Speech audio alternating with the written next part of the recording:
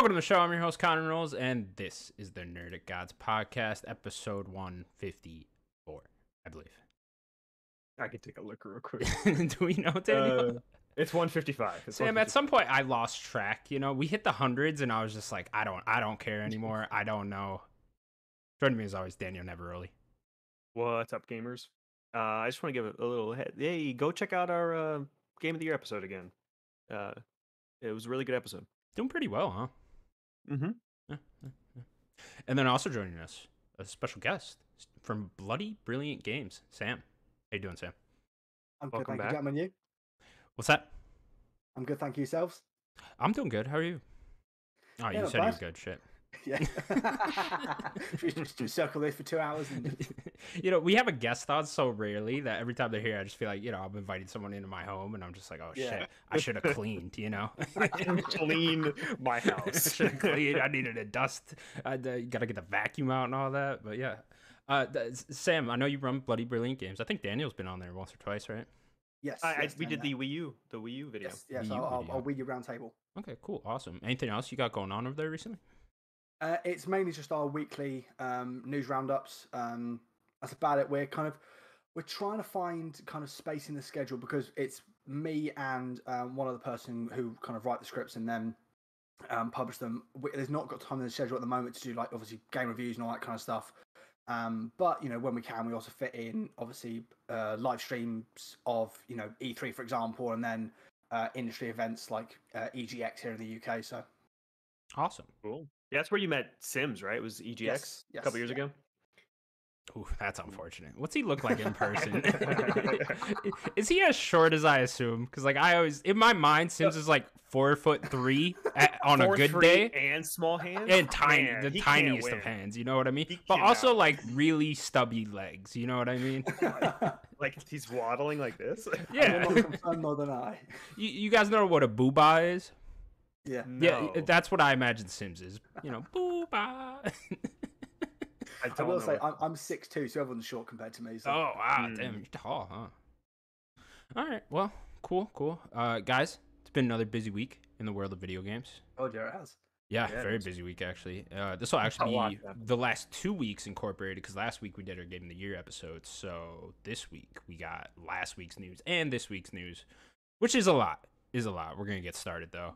Uh, Xbox held their first developer direct yesterday, and we're gonna go over the entire thing.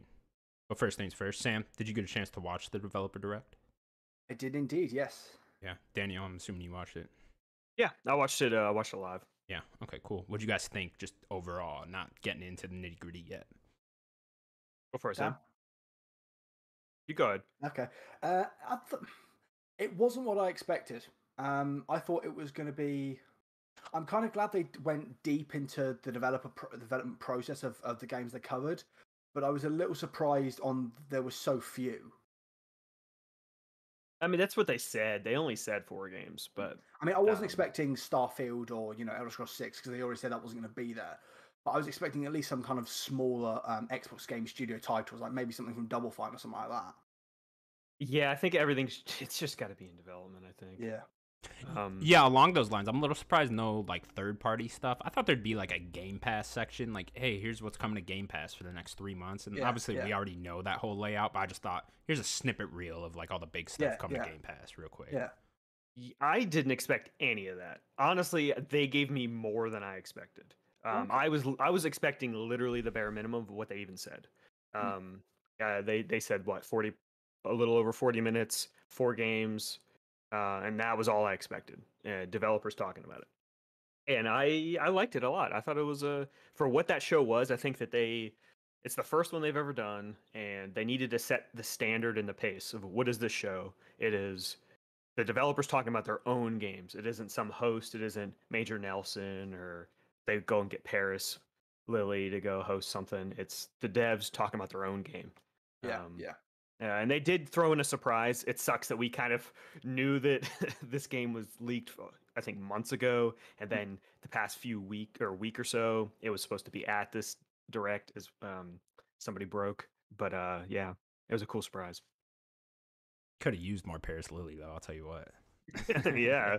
Well, what is he gonna do though? Is yeah, gonna have to yeah, go to every studio. Yeah, drive around for a day, go around all these studios. Yeah. Uh, ultimately, I'm just so happy Xbox is finally doing something like this. Right? We've had State of Yeah. Play for a couple years now, and then we've had Nintendo Directs for what a decade now. Uh, for for, like for years, we've all been wanting Xbox to do one of these, and they have one now. And I like the format, honestly. Just going, getting a deep dive into developers and stuff like that. I'm curious how where they take it in the future. If we'll end up getting you know more developers on these things, and thus making it much, a much longer show. You know, because Yeah, I'd like to see this for like third party studios too, especially the ones that Xbox like to team up with. You know, we know like Wo Long's coming out soon and other stuff coming to Game Pass soon. I would have liked like let's take a deep dive into these studios as well. But I guess you don't want to run the clock too much. You don't want to make this like a two hour long thing. So, but ultimately, I like the for- format, and I think it's a really good first step for Xbox.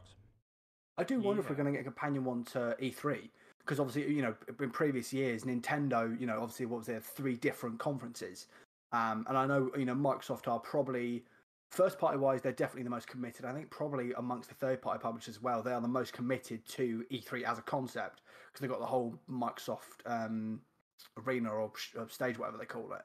But I would I would be interested to see, especially with the games that are coming out closer to E3 than a lot of a lot of their lineup, if they go, hey, here's a developer um, direct to kind of go in deep into some of the titles.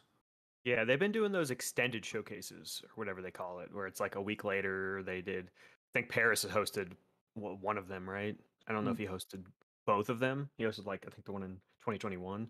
Um, Wasn't that for Gamescom? I think it was. or was that Gamescom that yeah, I think it was. I think it was Gamescom 21. They did a massive one, and he he was one of the hosts. And they, because I think uh, I remember them talking to the um, guys who are making uh, Flight Sim. They were going. Yeah, I remember the Flight Sim stuff on one. that. But he did no, he did an extended showcase because he was at a st- at the studio. Where he like showed off the custom controller and stuff. Um, uh, but I, I think that they needed to nail this format for the show, and I think we need to, um, I guess, set expectations properly for what the show will be. This Mhm. isn't going to be. I honestly don't think you'll ever get a third party game. They could surprise me. I don't think that that's what this show is. They might do another type of direct that will be a little bit more Nintendo Direct. I think this is only going to be first party games and it's going to be kind of like they might do like 3 of these a year maybe, maybe 2 because they're already going to be at E3 or Ke- the Keighleys uh, and then they're going to be at the Game Awards. So they already have two big shows they're going to be at. Yeah. And then including Gamescom, they might be there. So they don't need to always do these. Um, but they'll probably do two or three of these a year, I would say, and they're probably just going to pace them out for every few months. This is Xbox's lineup for every few months. Here's a deep dive of you know whatever five games, four games. Yeah, yeah. And just keep doing that. That's probably the best thing, given I think, as I said, as, as much as they are the kind of most committed to like the E3 concept, they are probably one of the worst in terms of keeping fans up to date of what's coming out on the Xbox most, because obviously for the past couple of years they haven't really had much. Um, but you know, like for example, the if it wasn't for you know me being involved in the in the games industry and keeping a regular eye on it, I wouldn't have known that Persona was going to be coming out on Game Pass. So if you know if they had a, a Game Pass direct say, "Hey, we've got these games coming out on Game Pass," then it keeps your fans up to date. Yeah, I mean, other than E3, that was the only time they really talked about it too much. Yeah, yeah, Um, yeah, yeah. They they. well, I think once they start getting a more regular pace of their own first party games, I think we'll see them kind of get it get into their own and and feel how they're gonna uh move Xbox into kind of a new era. Yeah, a long time ago, I think Phil Spencer talked about hitting that like one game a quarter lineup, you know, and like if you could do that, I think two or three of these a year would work out really well. You know what I mean? Like, hey, here's the games coming out in the next six months or whatever. Let's get a deep dive with developers and all that. Six months later, do another one. Same thing. Mm, This could be a really good format just for that. Yeah, I think for the first maybe these first like couple years here, maybe this year, next year, maybe 2025, we're probably going to get more than that. Yeah. And then I'd say it would probably slow back down. yeah. We're probably X- Xbox has just been so bottled up with games, and everyone's working on something. Eventually, Mhm. everything's just going to come out, and you're just going to get probably one every two months, maybe, maybe even once a month. You'll probably get a game, and then they're probably going to slow back down to to Yeah. a more regular pace. yeah. Now we know we're getting a Starfield show sometime later this year. I wonder if that'll be the same format, but just focused on Starfield? Like, will we get like a 40 minute just Starfield one of these? You know, that'd be really cool. I think so. yeah, Yeah, that'd be fun. they'll probably call it the same thing too. Keep the same format. Yeah. um, I Yeah, think. yeah. I think I was hearing rumors that it might be next month, in like in February. Yeah. Yeah, I think Um, yeah, that's what's the rumor's been um, floating around. Yeah, uh, that's a good good time, and I think it could even just be like, hey, it's February, and then it's coming out in April or something like that. Like, could be quick. Oh, that's the dream right there. Yeah, I know. All right, let's get into it then. First thing they showed off is Minecraft Legends, and then got a release date April 18th. Coming to uh, Nintendo Switch, PS4, PS5, Xbox One, Series X, PC, all the good stuff. Uh, Daniel, I know you're a big Minecraft fan. How you feeling I on like this the, game? the main game. Dungeons is fun. I wasn't like crazy about dungeons, but I thought it was fun. Um, this it looks re- it looks cool. I don't really know a lot about what you were doing too much because they were showing a lot of the PvP.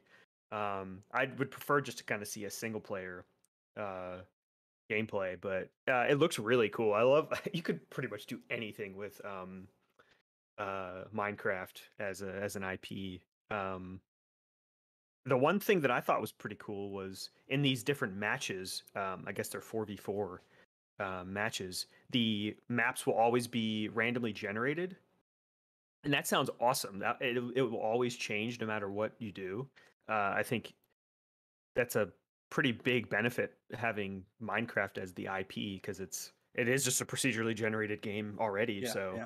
just put that into multiplayer sounds pretty pretty cool to me. Sam, you Minecraft guy at all? Mm, not really. I mean, the thing is, I've never been massively sold on these spin-offs of Minecraft, um, because I, I'm not sure it's the type of IP that really suits, you know, expanding into, especially you know, given the types of titles they have gone for, like you know, roguelike-esque dungeon crawlers, and now a pseudo action strategy title. Um, I mean, there's some interesting elements to it like some of the different strategies they talked about, some of the um, different ways to play certainly are intriguing, but I'm just not entirely sold on taking Minecraft, which is such a specific thing. And I'm also not entirely sure it's going to get, you know, looking from a sales perspective from Microsoft's point of view. Perhaps they don't really care about this, but it's not going to get the sales that, that um, they were, would potentially expect a Minecraft title to have because, again, of the nature of the the genres of title. I think. Yeah, I wonder I how well the last one did. What's it called? The uh, Dungeons. Uh, dungeons. Dungeons. Yeah, I wonder how well that one did exactly. And uh, I mean, it must have done at least somewhat well for them to make another spin-off game, right? And that game is everywhere. Yeah. so I'm sure it did pretty well. Uh, even just off the Minecraft name. Um, I was I had something I was going to say and I forgot. Who knows? Go on. I don't know. Uh, yeah, I'm not necessarily a Minecraft guy, nor am I, uh, you know, necessarily into whatever the concept of this game was. It, it looks okay, you know, something. I'll, it- it's on Game Pass, right? So I'll, I'll download it, check it out. That's- Why not? Yeah, play a match. That's what I was gonna say. Yeah, there's a uh, lot of these. For the- the- I'm just like, yeah, I'll download it. Why not? Oh, To, to what Sam was saying about like the sales, like I don't think that they're even looking at it like that anymore. It's just how many people is is is Minecraft um, Legends? Uh, how many people is it going to bring to Game Pass? Sure. That's just what they're. I'm sure at. they care about sales though on the other consoles and a Little PC, bit. right? Yeah, a little bit, but it's going to be on PC Game Pass. Like, so it's just like they. I think they care more about that. Cool. Uh, next game then, Forza Motorsport was also shown off. No release date yet for this one, but they showed off, you know, some of the the nice looking cars, those 4K textures, all that good stuff. Daniel, how you feeling on this now? It looks great. I guess game just looks gorgeous. Um, I still think that they said with it said before the end of January. They're still saying the first six months, so they just don't have a date. And I think today they're doing another uh event just for Forza. Like I think that Turn Yeah. 10's doing something. Um, I don't know if it's when it's airing or anything like that. So uh, by the time you listen to this, they might already have even had a, a date. I don't know, but um, like this is going to be a pretty big title for them. Uh, Turn 10, they I forget when seven came out, or was it eight? Seven, I think. Uh, seven. That was twenty. I can't think it was count that high. 2018. 2018. So it's been Turn Seems 10's like been making this game for a while. Yeah. Um, it, it, it's it's gonna be pretty big for them. So it looks great. I'm a massive, massive Forza fan.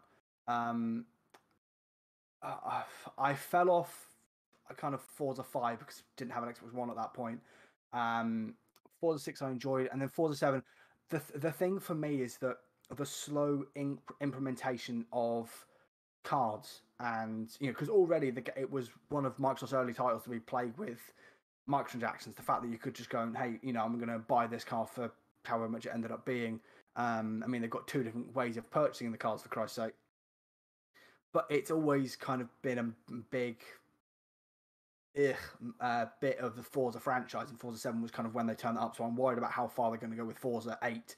Um, the other thing is that some of the features they're talking about, so um, dynamic weather and um, night and day cycles, that's something that I've wanted in the Forza franchise for God knows how long. Um, you know, to be able to, you know, not officially licensed, but be able to something like a Le Mans 24 hour race. You know, they, they've got everything in the game for a long time and just not have the dynamic weather and night and day cycles. Um, stuff like uh, t- tire compounds and t- being able to uh, change tires mid race is another really really crucial thing because Forza has always branded itself as one of on console at least the most realistic or uh, uh, to the more realistic end of um, simulation racing games.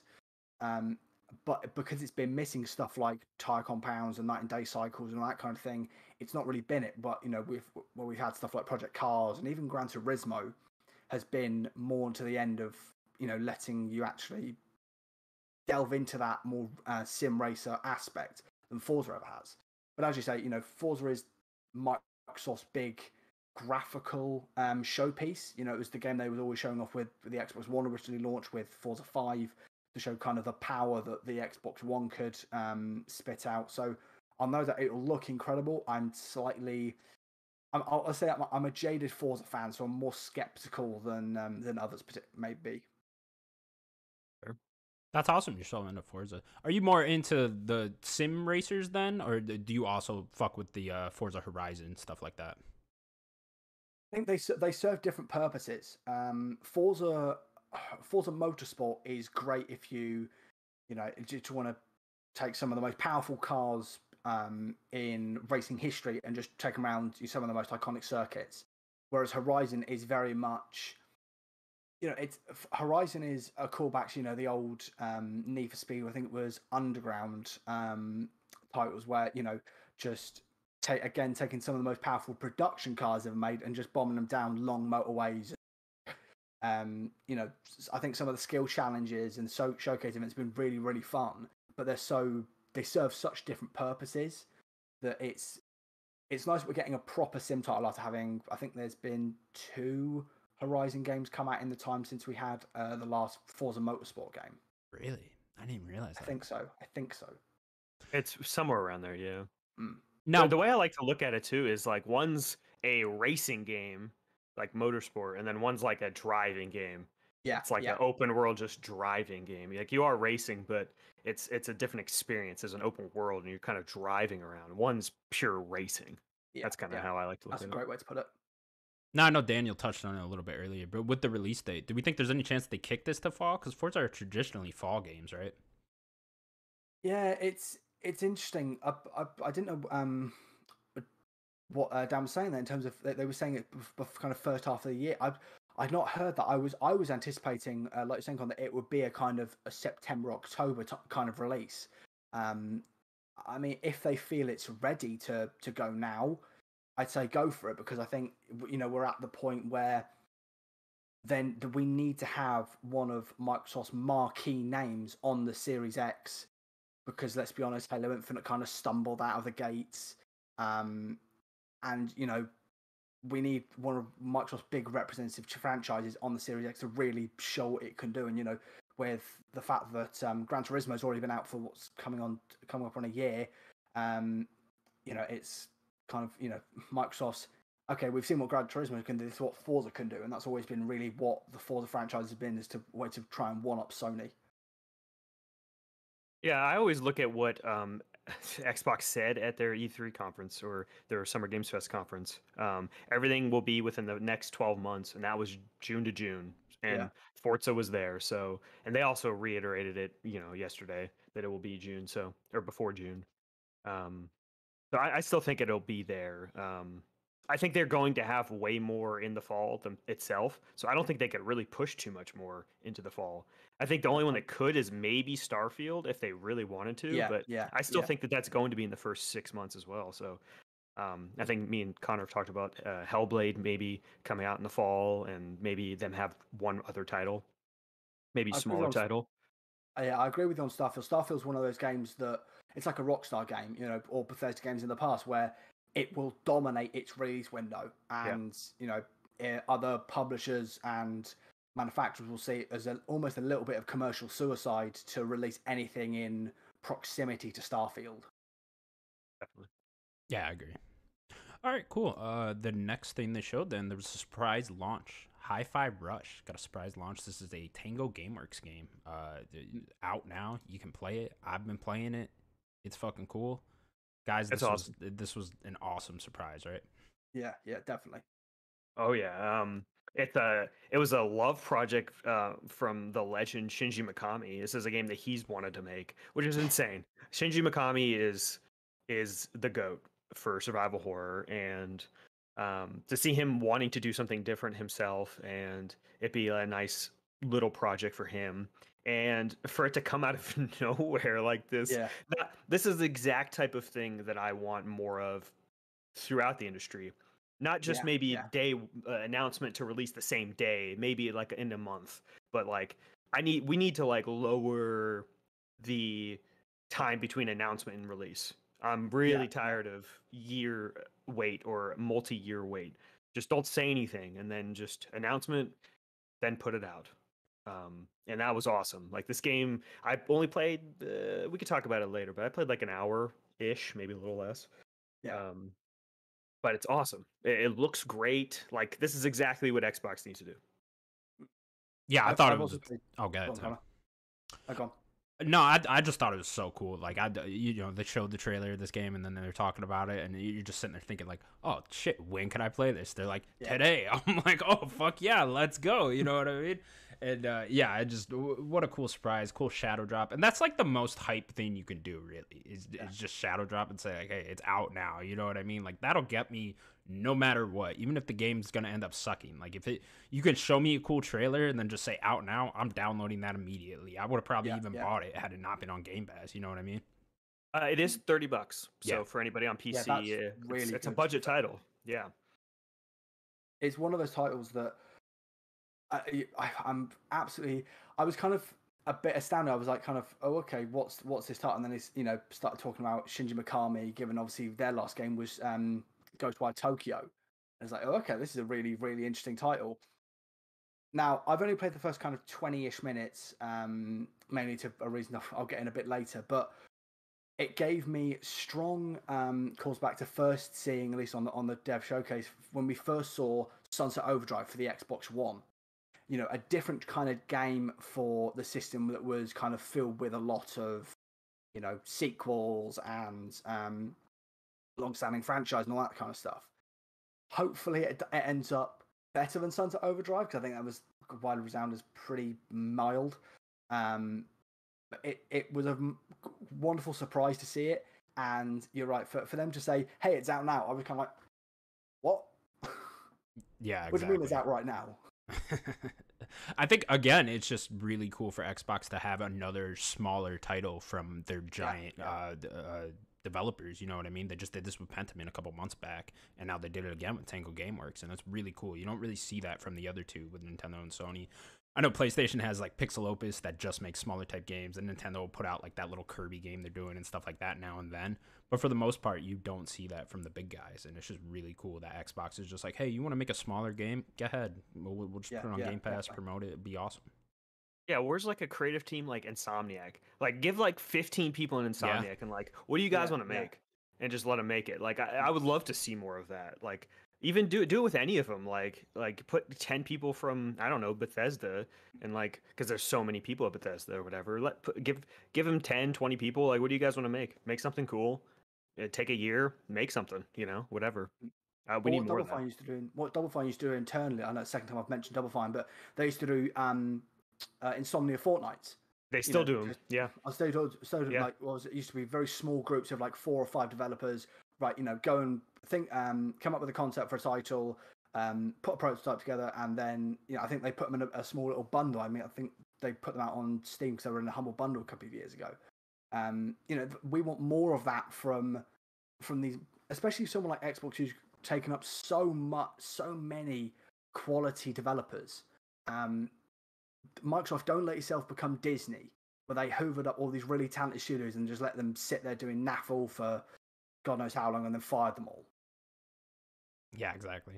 I think it really helps too, just in between big releases, right? Because who knows Yeah. the next time we're gonna get Tango GameWorks' next big game, right? They just released yeah. Ghostwire Tokyo last year, and uh, same thing with uh, Pentiment and Obsidian, right?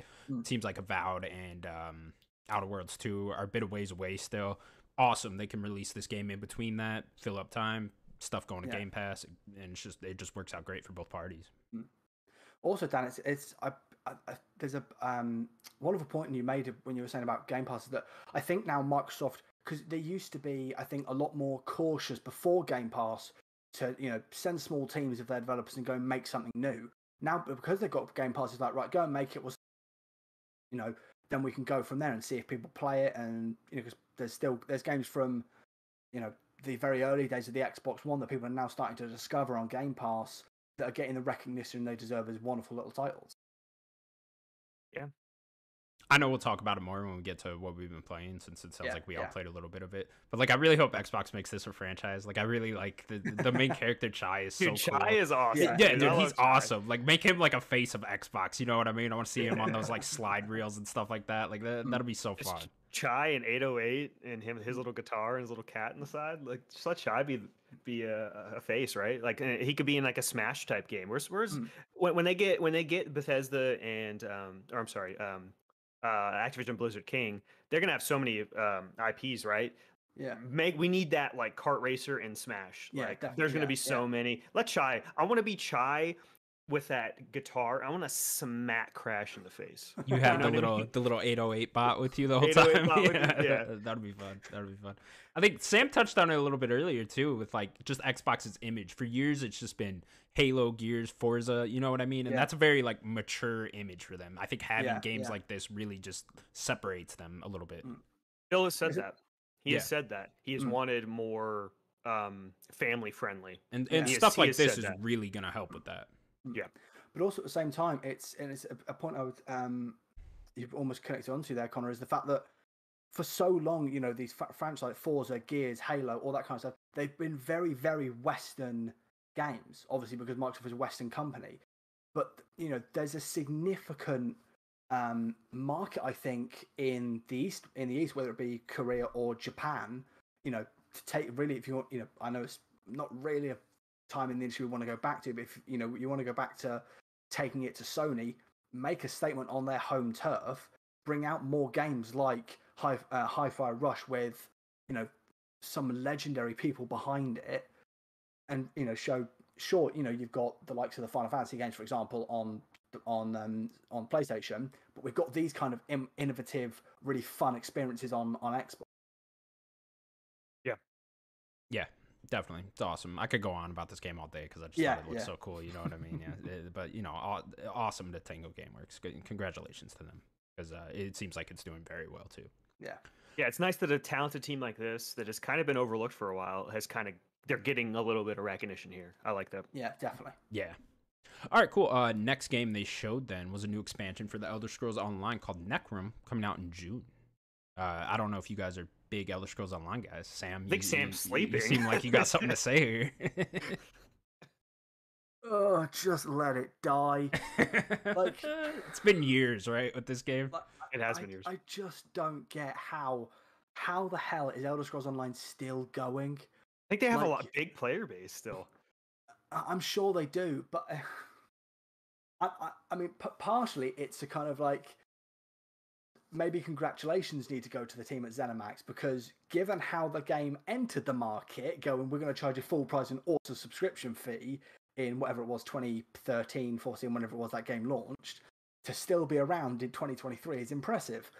But I just I think I think it's the Elder Scrolls fan in me. It's like when that is the only Elder Scrolls thing we're getting because Elder Scrolls Six is so far away, it's kind of like, can we just let it die so you know, so people from ZeniMax can go and speed up the development of Elder Scrolls Six?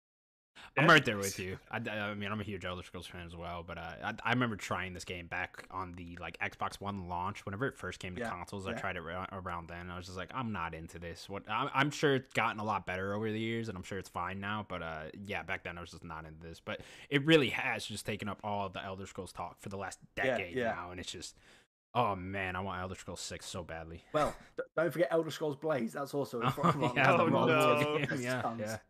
Uh, You know, I'm shocked that one turned out badly. Like, cause I loved Fallout Shelter on uh, tha- that's like the only mobile game I've ever gotten like super into, and uh, so I was like, I remember before that game released, I was like, oh, that's probably gonna be awesome. And then I remember downloading it, and it was just like, nah, this ain't it, fam. Have you played Florence? No, I have not played Florence. Oh, dude, you should check out Florence. Isn't that on Switch? You tell me about this one all the time, man. Uh, I don't know if it's on Switch. It Yeah. might be. Put it on check out. See, find a way to play Florence. It's very Okay, short. I got some very short. mobile games. Oh, okay. Uh, we can move on. Daniel, anything to say about Elder Scrolls Online? Looks great. Um, Yeah. Happy for the people that keep doing it. The the I'm happy for those devs. Like they they put in a lot of work into this game, and it shows. Daniel, where's that rumored Mandalorian game these guys are supposed to be making? Remember that? Maybe they still are. Who knows? Where is that? You know, Was that the? Is that the? Are you talking about the leaked thing that? Is that still the same Uh, footage? that was probably fake, but uh, there was like a rumored The Mandalorian by ZeniMax Studios. I, I forget exactly Okay. where that came from, but uh, It wasn't that footage that we saw. no, that no, that we was saw? something else. Yeah, that was a mod Okay. and something. Yeah, yeah, yeah. I know what you're talking about. Okay, cool. Last game of they showed, Redfall, got a release date May second, coming to Xbox and PC. They showed up. This is probably the game they spent the most amount of time on. I think uh, we got Yeah. a lot of new gameplay from this. I know Daniel, you're excited. Sam, how you feeling about Redfall? I'm kind of middling on Left for Vampires. Um, it's one of those Nah, things. it's not Left 4 where- Dead. is it? It's not Isn't Left it, 4 Dead. though? Is No, it? no, it's Is not, it's not, You it's know, not I don't know. Keep going, Sam. Keep going. I mean, there's certainly some very interesting mechanics in there. Um, but I think potentially, it's, again, you know, I, I, I joke, but you know, look at Back 4 Blood. It's another thing that invokes um, a similar kind of gameplay loop and ethos of you know playing with your four mates. If you're not playing with your four mates, it's going to be not as good as it could be. Um, that type of title has never really been my kind of thing, but I mean, it looks pretty. Yeah, I I, think they're. I think Arkane's visual direction is always great. Um, they always have uh, strike, uh, striking art styles. Yeah. Um, Deathloop looks great. Um, I- I mean, do you- just to add on, Yeah. is I'm I'm glad you're right with what you're saying about Arkane and their art and their design philosophy. I'm glad they went with you know vampires being just grotesque monsters instead of the normal you know Hollywood vampires you see in um, Masquerade Bloodlines too if that ever sees the light of day. yeah, I mean, I like looking at pretty vampires too, but I'm with you. Like they're they're more monsters. Mm. Um, in this world, they're they're they are monsters. Um, uh, do you like Borderlands, Sam? The f- I enjoyed the second one for about 20 30 hours and then it just got to a point where I think it it kind of struck me that I was doing just the same thing for so many missions on the trot. I was just you know go here, kill this thing, you know, pick up this item, go back to Sanctuary and repeat. I was just like, "Ah, I'm not, I'm, I can't be asked with this.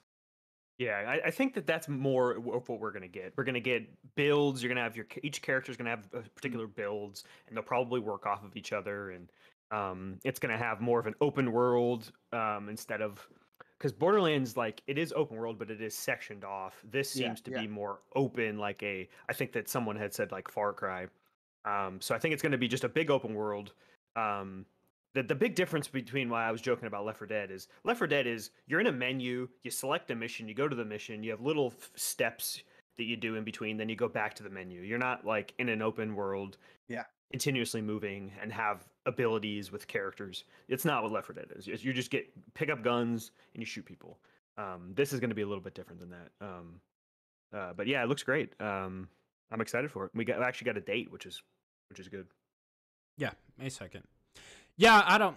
I don't know how I feel about this game. It's. It, it, I just think it's not my cup of tea. Ultimately, you know, I'm not the. I'm not the Borderlands guy, and that's really what it came off as. You know, they said Far Cry a couple weeks ago, and then I did that. That that perked my ears up. Where I was like, oh, okay, Far Cry. I love Far Cry. But then I see gameplay of this, and I see what they're going for, and I'm like, no, this is Borderlands. You know what I mean? And like, I don't mean to disrespect Borderlands too much, but Borderlands to me has always been go online with your friends, go shoot some guys, get some loot, go back to the hub, go do it again. And, and Yeah, that yeah. that just I, I just remember back in the day that that really boring me that cycle, and that's just what this seems like. And uh, like to each their own, you know, it's just not my cup of tea. I, mean, I think this is going to have more of a story. Like this is going They to be said arcade. that, but where was it? You know, like where were they? They mean, when they're they not said Far spoil Cry, I'm picturing you know Far Cry. I'm picturing a, a main villain, cool characters, cutscenes, stuff like that. They they always do that stuff.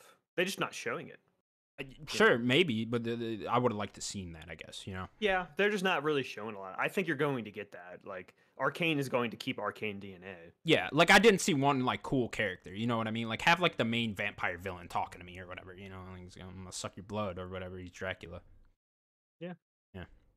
All right. Cool. So, uh, uh, but again, this is another one where I will just download it because of Game Pass, right? And I'm I'm gonna play a couple Yeah. matches and maybe I get super into it. Who knows? Not matches. I mean, it's just be the game. Yeah, whatever. You know, jump in there, whatever. I'll, I'll jump on with Daniel and go shoot some shit. Fuck Sure. up this whole You game. can't just play this game by yourself. Like Yeah. it, it- even Borderlands. Like See, a lot much- of games, I, I always just feel like that's fun promotion talk, though, you know? Because it's never as fun by yourself. Like, I never found, know. I've tried Borderlands by myself. I've never found it fun, you know? It's not as fun, but it is Yeah. very fun. Borderlands. yeah, a and fun it's like the same thing with, like, the Division and stuff like that. Like, it's like, yeah, you could play it by yourself, but it's not as fun. I think Yeah. there is a distinction to make because you know Division live service kind of you know it's designed around being a multiplayer game. Um, I'm hoping that you know as much as I'm not super excited for Redfall, I'm hoping it does deal with single player a lot better than Borderlands because I always felt Borderlands like I always felt if you were going in single player, you were a bit of a disadvantage given you know to the later period of the game just how much health the enemies have got. Yeah. Yeah, it's all about balancing with that.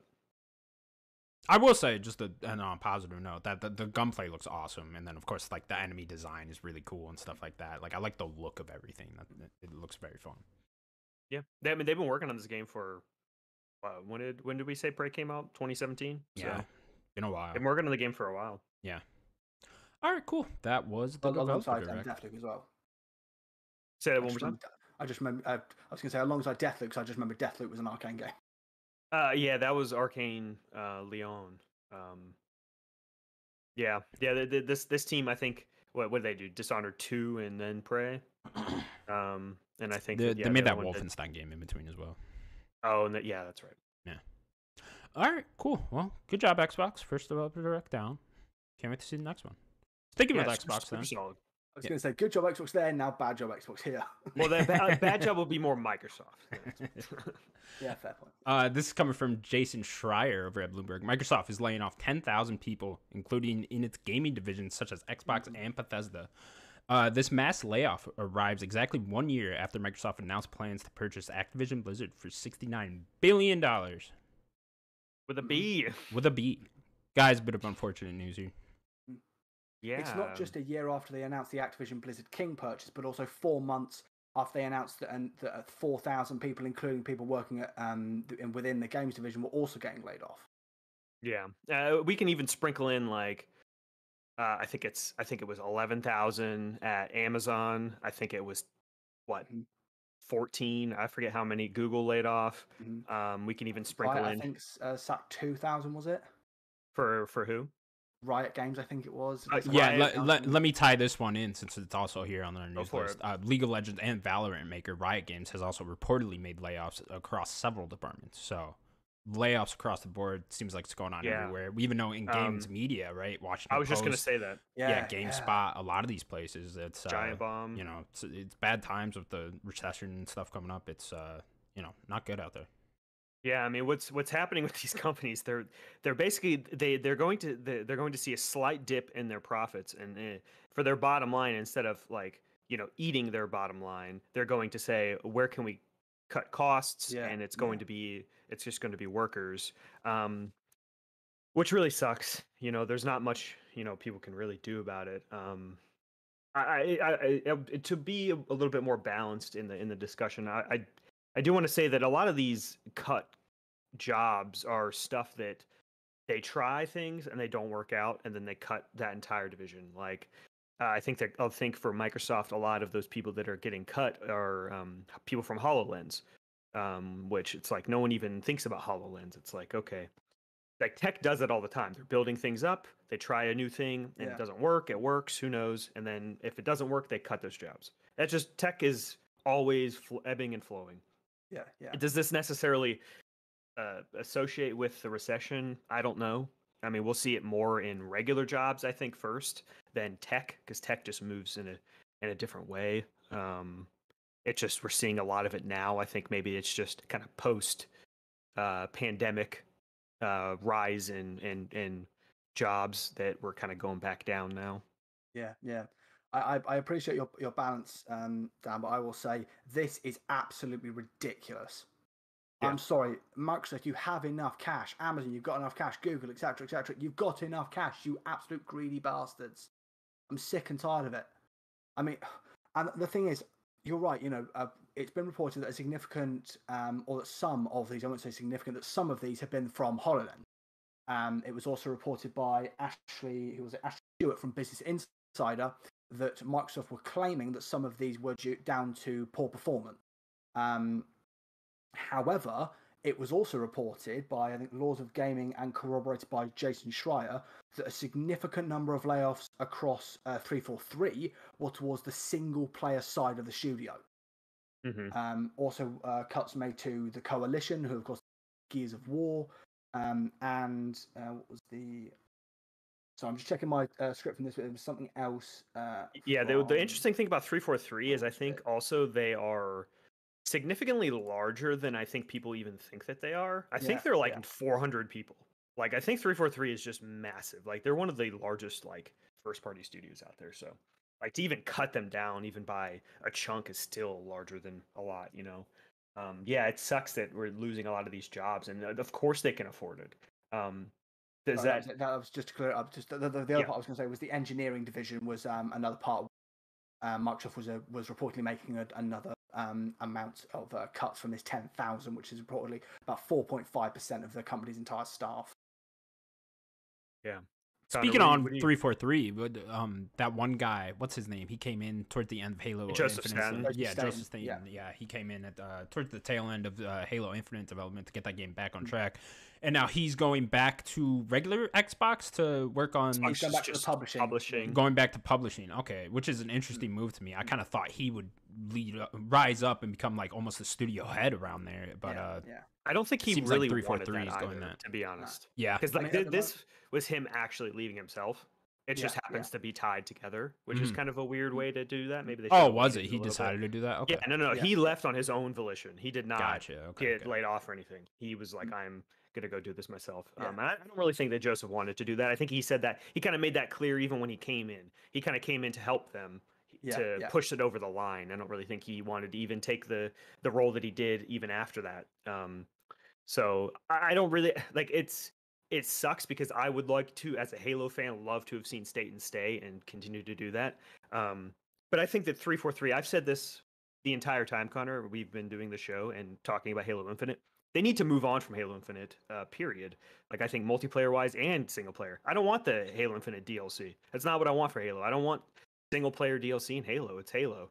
Make a single player and then move uh, move to the multiplayer and have all your forge and all that but uh, you don't you don't need that for for a campaign and yeah you're right with getting the campaign layoffs that really is interesting that shows me that they're probably just moving on um, they're going to keep updating this game and make halo uh, halo 7 and i think Yeah, that's what they yeah. should do Mm, I mean, because they're pushing. I think they're pushing the esports side of um, Halo Infinite's multiplayer to kind of get that um, pumping. But just to touch on Joseph Staten, one more, um, one last thing is that I thought I found it very interesting that um, while the reports came out from Schreier that he was going to go back to Xbox Games Publishing, he then announced on Twitter last Friday that he was now 100% focused on helping those who have been sacked get new jobs, um, which you know potentially as much, but the optics makes you know shows how much he cares about the people that have been sacked from three four three.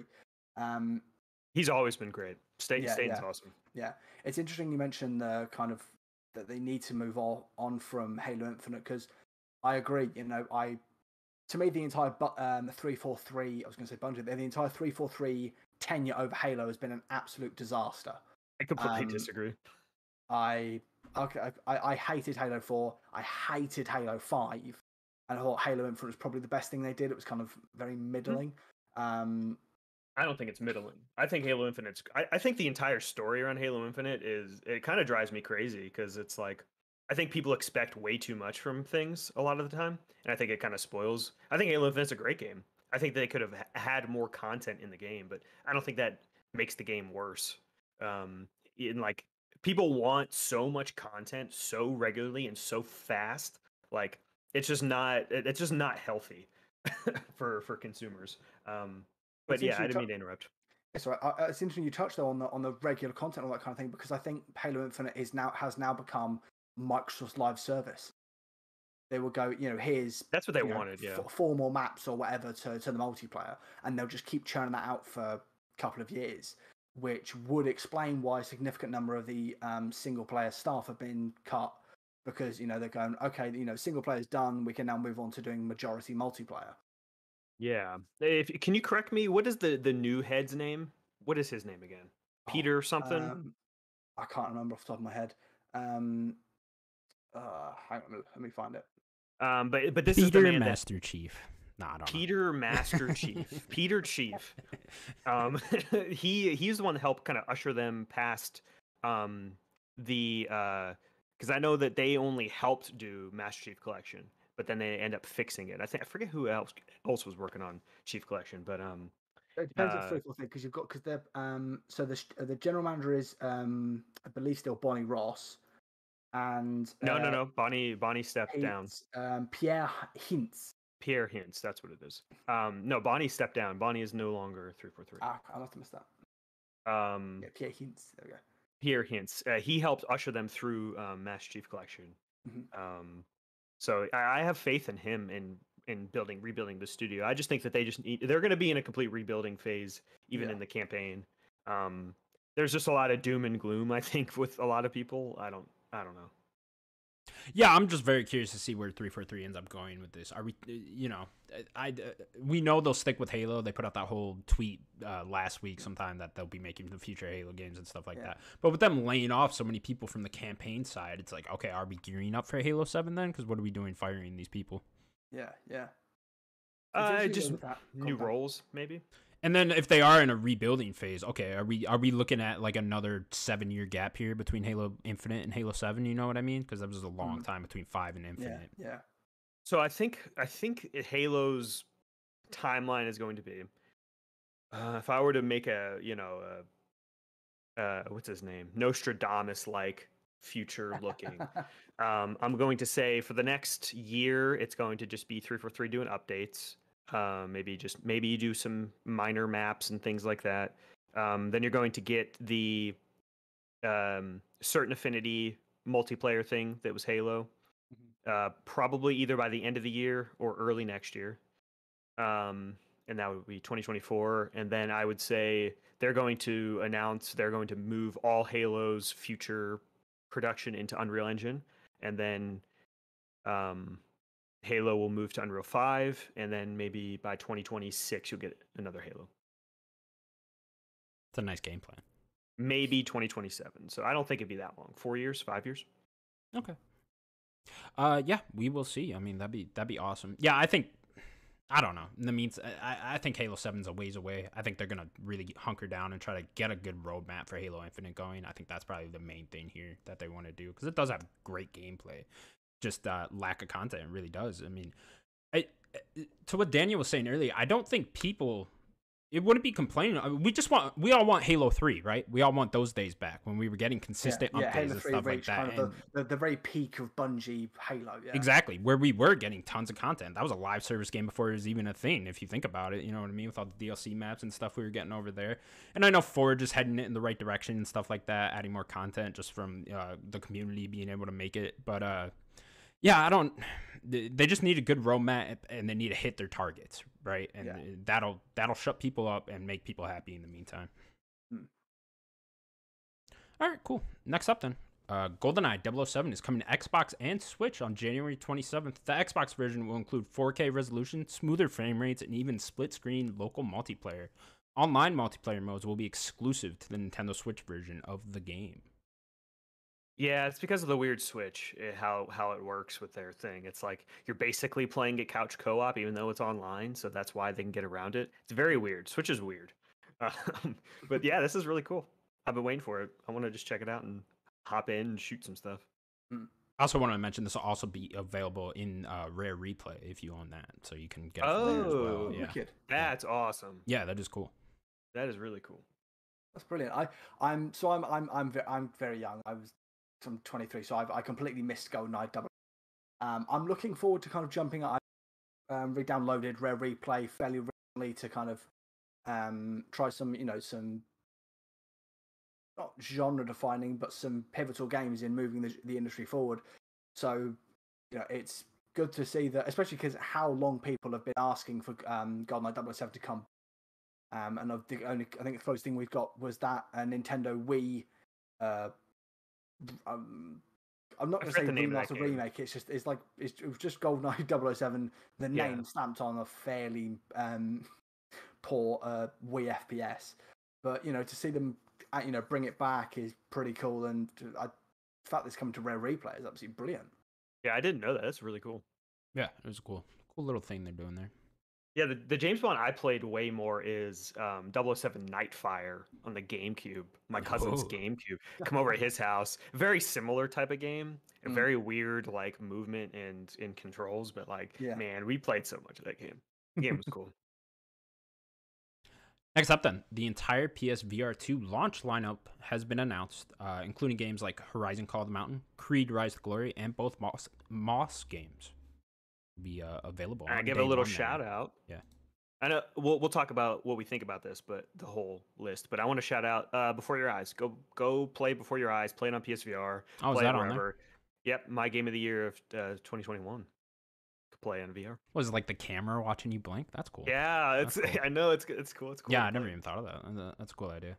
Uh, I know me and Daniel have been kind of underwhelmed with the entire PSVR 2, uh, all the games they're offering there. It's just not, there's not much, other than Horizon, that's the only thing I really want to play out of this list. And and I'd probably, like, if I was buying one, I'd check out that, um, what's it called? The Until Dawn guys, Supermassives game. Switchback, Um, whatever it's yeah, called. what- what is the name of that game? I think it's is the Dark Pictures Switchback.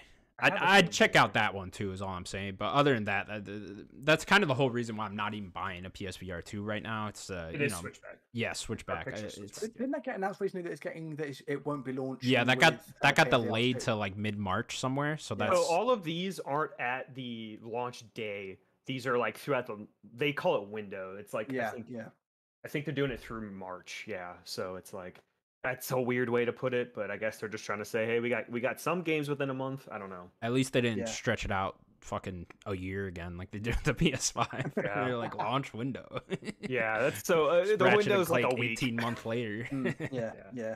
I mean, there But- are really cool games in here. Like you're gonna get uh, some sort of Gran Turismo mode, right? Like that's pretty cool. Um, That's Uh, actually the full Whip. game in PSVR, which is really cool. that's awesome. Yeah. yeah. Uh, Pistol Whip is a really cool game. Yeah, uh, I want to shout out Thumper. I love that game, and uh, that, cool. that's on there for VR. That uh, that's really fun. I think I heard Tetris Effect is coming there too. Yep, it's uh, connected. Yep. Yeah, uh, that- this year. That'll be very cool. Um, yeah. Last clock Clockwinder, I want to shout that out. Oh, yeah. Um, I was listening to the MinnMax's like game of the year stuff, uh, and it ended up going in their top twenty. Um, and it's supposed to be a really cool VR game. Yeah, there's some Um, really cool stuff on there. It's just it's just still not enough. I needed one more big thing. If they would have got Half Life Alyx down and had it in this launch window, I would have been At day this one. I would have point- bought this. You know. Valve just doesn't care. Like they. No, I'm sure I they think don't. Why would they? They have all the money in the world. Like, uh, Yeah. they don't need to waste their time and do this. Uh, just for me, I think Sony should have gone and locked that one down. Yeah, this list I'm looking at, it's just like there are some cool games here, but it's just disappointing. Like Yeah, all these yeah. games, for the most part, you'd already play on a different headset. Mm. It's like, do you really want to spend more than the PS5? And if you don't have a PS5, so then you're gonna have to get that too. So you're gonna spend what is that? A thousand, one thousand fifty dollars plus buying the games. Yeah. You know, just to experience games you could play on your Quest already or something. And like, that, that that is my big problem. It's it was my big problem when the original PS came out is that Sony, you're meant to be bringing out the budget version of VR, so people, more people can experience it. So people, you know, might go, oh, maybe, you know, the um, Quest Two or you know the Vive, whatever um, one they, they've got out now. But some of these prices are absolutely extraordinary. Um, you know, the headset alone's six hundred. Um, uh, which one? Which number is it? Uh, I think it's 550. Yeah, Yeah. five fifty. I was looking at the euro amount on my on my document. Five fifty euros, five hundred thirty pound here. Then the actual um, like stuff like the controllers. Um, oh no, the charging station. Sorry, is an extra fifty bucks. That's pretty reasonable, but But I mean, like you know, that's six yeah, it's dollars for. Yeah, that's two hundred dollars on top of what it will cost you to get the PlayStation uh, the PlayStation Five. yeah. It's it's It's- it's, it's- a lot of money. It's ridiculous. I don't will- understand why Sony don't. I will like, defend PlayStation a little bit. Like the tech is there.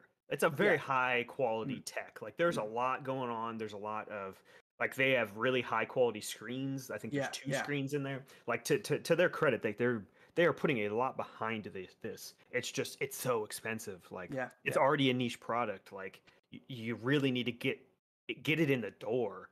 And if you're not if you're not doing that, like are you really just only going for a couple million people to do this and that's it? Like like that means most of those games aren't even going to sell a million copies. Yeah, exactly. You know? Yeah, Like I worry about the support too, right? Like, because there hasn't been announcements from their big first party studios of VR games that they're making. You know, like if they Yeah, came out and said, "Hey, the basic Astro Bot," VR comp, um, implementation with stuff like um, Gran Turismo Seven, and that and that's it. You're not going to get a dedicated Gran Turismo game.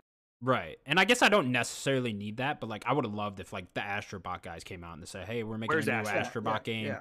It's on VR, but uh, you know, I would also like it to just be a regular game too, like, but like have it have a uh, VR compatible as well. Like, I think that'd Yeah, be a yeah. good direction to go with that. That way, you please both audiences. But uh, again, they just haven't announced anything like that. So uh, you know, I worry about their support in the future. You know, uh, Two years from now, are we going to be wondering, hey, where are the VR games? Because there hasn't been any since launch. You know.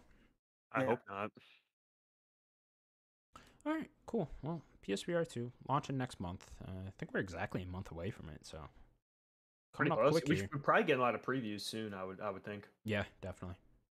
Next up, then, a leaked image of Rocksteady's Suicide Squad kills the Justice League shows us some of the game's UI where you can see battle pass options, different types of currency, and matchmaking matchmaking options. This suggests the game is very much a live service multiplayer game, uh, more so than a traditional Rocksteady single player game that I know a lot of people, including myself, were hoping for. The sweet irony that everyone thought that Gotham Knights was going to be a live service, and it turns out to be Suicide Squad Kill the Justice League. It's the live service. Yeah, the problem with all of this is is it's just a screenshot and we don't know when the screenshot was taken. You know, this could have been a year ago, 2 years ago. We don't know. Like we That would worry me even more if they got rid of those options then.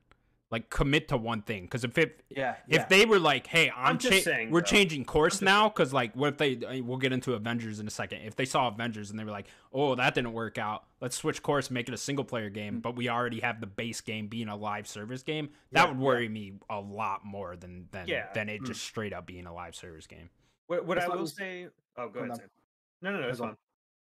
on. Uh, what I will say about this whole thing too, it's like this is just a menu too. Like I did, I, I didn't really get live service from that menu.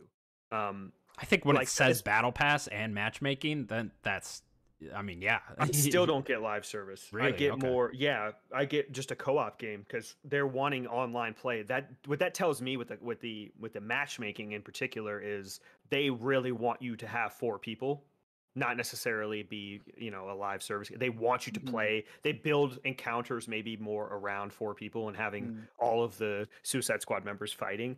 Um, the battle pass, if it's anything like Avengers, it's it is it's not a live service battle pass. It's just cosmetic. It's just a way to unlock things. It, which I just don't like the idea. Then don't call it a battle pass. Like just make that challenges or something. I don't know. Mm. Um, and the and the the currency thing I found interesting because it looks like there are symbols for all of them, and all those symbols, like I kind of zoomed in on it. All those symbols just look like the different characters. So it seems like there might be just a currency or like skill points that you're just getting for individuals, not that there are six currencies, you know, that you have to use to upgrade. Does that make any sense? Sure. It does, Okay. but I but I would then tag on the question of why separate XP bars I know. for I know. why separate XP bars when you know just have a single one that you can use across all the characters and they uh, I just I, I'm I'm with I'm with Connor absolutely because I think what what you said there Connor was absolutely spot on. If they've changed their mind and gone, hmm, actually it's not a live service, or hasn't got a battle pass, or you know all the all these stuff, then that's more concerning. Because we've already seen with Skull and Bones that that has been delayed five times and, and has been rebuilt three years ago to make it a live service. So then to revert that and go right, um, we're gone from a live service to now just a standard Rocksteady game. The foundations of that are going to be so fragile. What I will say to, I guess, alleviate some concerns a little bit here, uh, this is Rocksteady. Look at those cutscenes. Those are high quality cutscenes. Like that's not Gotham Knights cutscenes. Like those cutscenes look great. That story is Hmm. going to be fun, and these characters, I'm sure, are going to be written fun. Like Boomerang is hilarious in all those trailers. Uh, I'm a huge Harley Quinn fan. This is in the Arkham universe. This isn't a side game. Like this is a direct sequel to Arkham Knight. Uh, that Batman is the Batman we played for three games. Um, like this is Rocksteady. Yeah, maybe they might stumble a bit, but they have a level of quality that I have faith in. Um, until I really see the game and I'm like, whoa, uh, I'm gonna have faith in them. My question to that is is Rocksteady still Rocksteady? Because it's been eight years at this point. It's been a very And their two time. heads have left. two heads have left. Yeah. This this game has been in development for so long, that I guess then what are they doing? You know, but um, what is Rocksteady in the future? I think is more of the question I would say than maybe right now. What I would Um, say is also, Dan, you're right. This is Rocksteady. This is the company that every single Batman Arkham game they released, it was buggy and broken. Um, Sure. So that that would be another. At least on PC. concern. Yeah, I mean, even, even the PS4 Arkham Knight. Um, I, I didn't get an Xbox One, but I did hear about one copies that was also absolutely bricked. Um, so I never really mean, had too many problems with Arkham Knight. I know their their piece their their like Steam release was botched, but um, I didn't really have too many issues with their games. But um, I believe you. Again, with this game, I just want to see. I know we've talked about this a couple times now, but I just want to see. Give me, give me ten minutes of gameplay. Here's what you're doing. Yeah, Here's a yeah. mission. I want Yeah. to see what it is. Like, is the, and, and it kind of worries me a little bit that we haven't seen that at this point. You know, Yeah, it's. Uh, yeah. I know they still got six months here, five six months. I- I I just want to see it. Like, uh, show me it. Because if this is a live service game, I'm probably out. You know. yeah, yeah. I think a lot of the issues with that is like not a Rocksteady issue. I think if I were just to make a guess, I think a lot of that would be WB. There's just all WB's in a it's a mess everywhere. It's a mess not only their games division, like their entire other Mhm. division with HBO and all their studios, like they are just in a shuffling mess with the Discovery merger. Like there's just a lot going on at WB. So I, like we haven't gotten a DC fandom in a while, right? Like that's where you would probably do something like that, like have that games fandom again. But they just haven't done that. So you're probably it's it's I would say it's probably a WB problem more than yeah. Rocksteady problem. Mm. But that doesn't mean Rocksteady can't just come out with their own, you know, marketing themselves. yeah. But that's just not their their role. They like they're not publishing the game. WB You're, is. you're spot on. It is, it is a WB issue, and WB are one of the worst publishers in the industry um, with their advertising. Um, their, their foibles of advertising, and let's not forget um, Batman Arkham Origins when everyone was broken and was like, "Oh no, we're not going to fix that on DLC." Is that? Um, it's. I'm more skeptical about this than I probably have been about any Rocksteady game, and that's just as as you said, is that you know which which Rocksteady is this? Yeah. All right. Well, we'll find out soon. I believe the release mm-hmm. date May 26th. So what are we? Yeah, Exactly towards the five end of May. out? Yeah. All right. Uh, speaking of live service superhero games, Marvel's Avengers is coming to an end. Crystal Crystal Dynamics will update the game for the final time on March 31st, and then end full support on September 30th of this year. Matt Sims isn't here.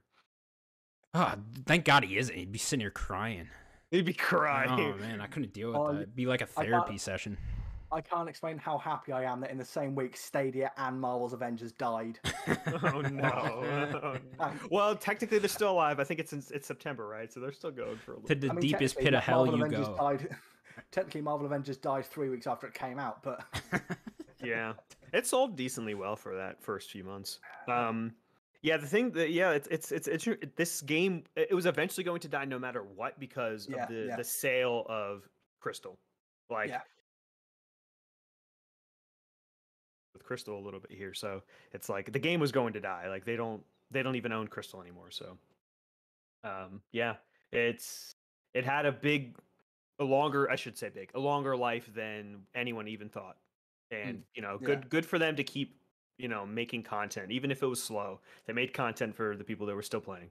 And there were people that were still playing even if it was a little bit you know I wonder if Embracer Group tried at all to talk to Disney and be like, "Hey, can we just keep this game going for a while, get a sequel going or something like that?" Because I'm sure they loved this, the, the idea of this IP at least when they bought the studio.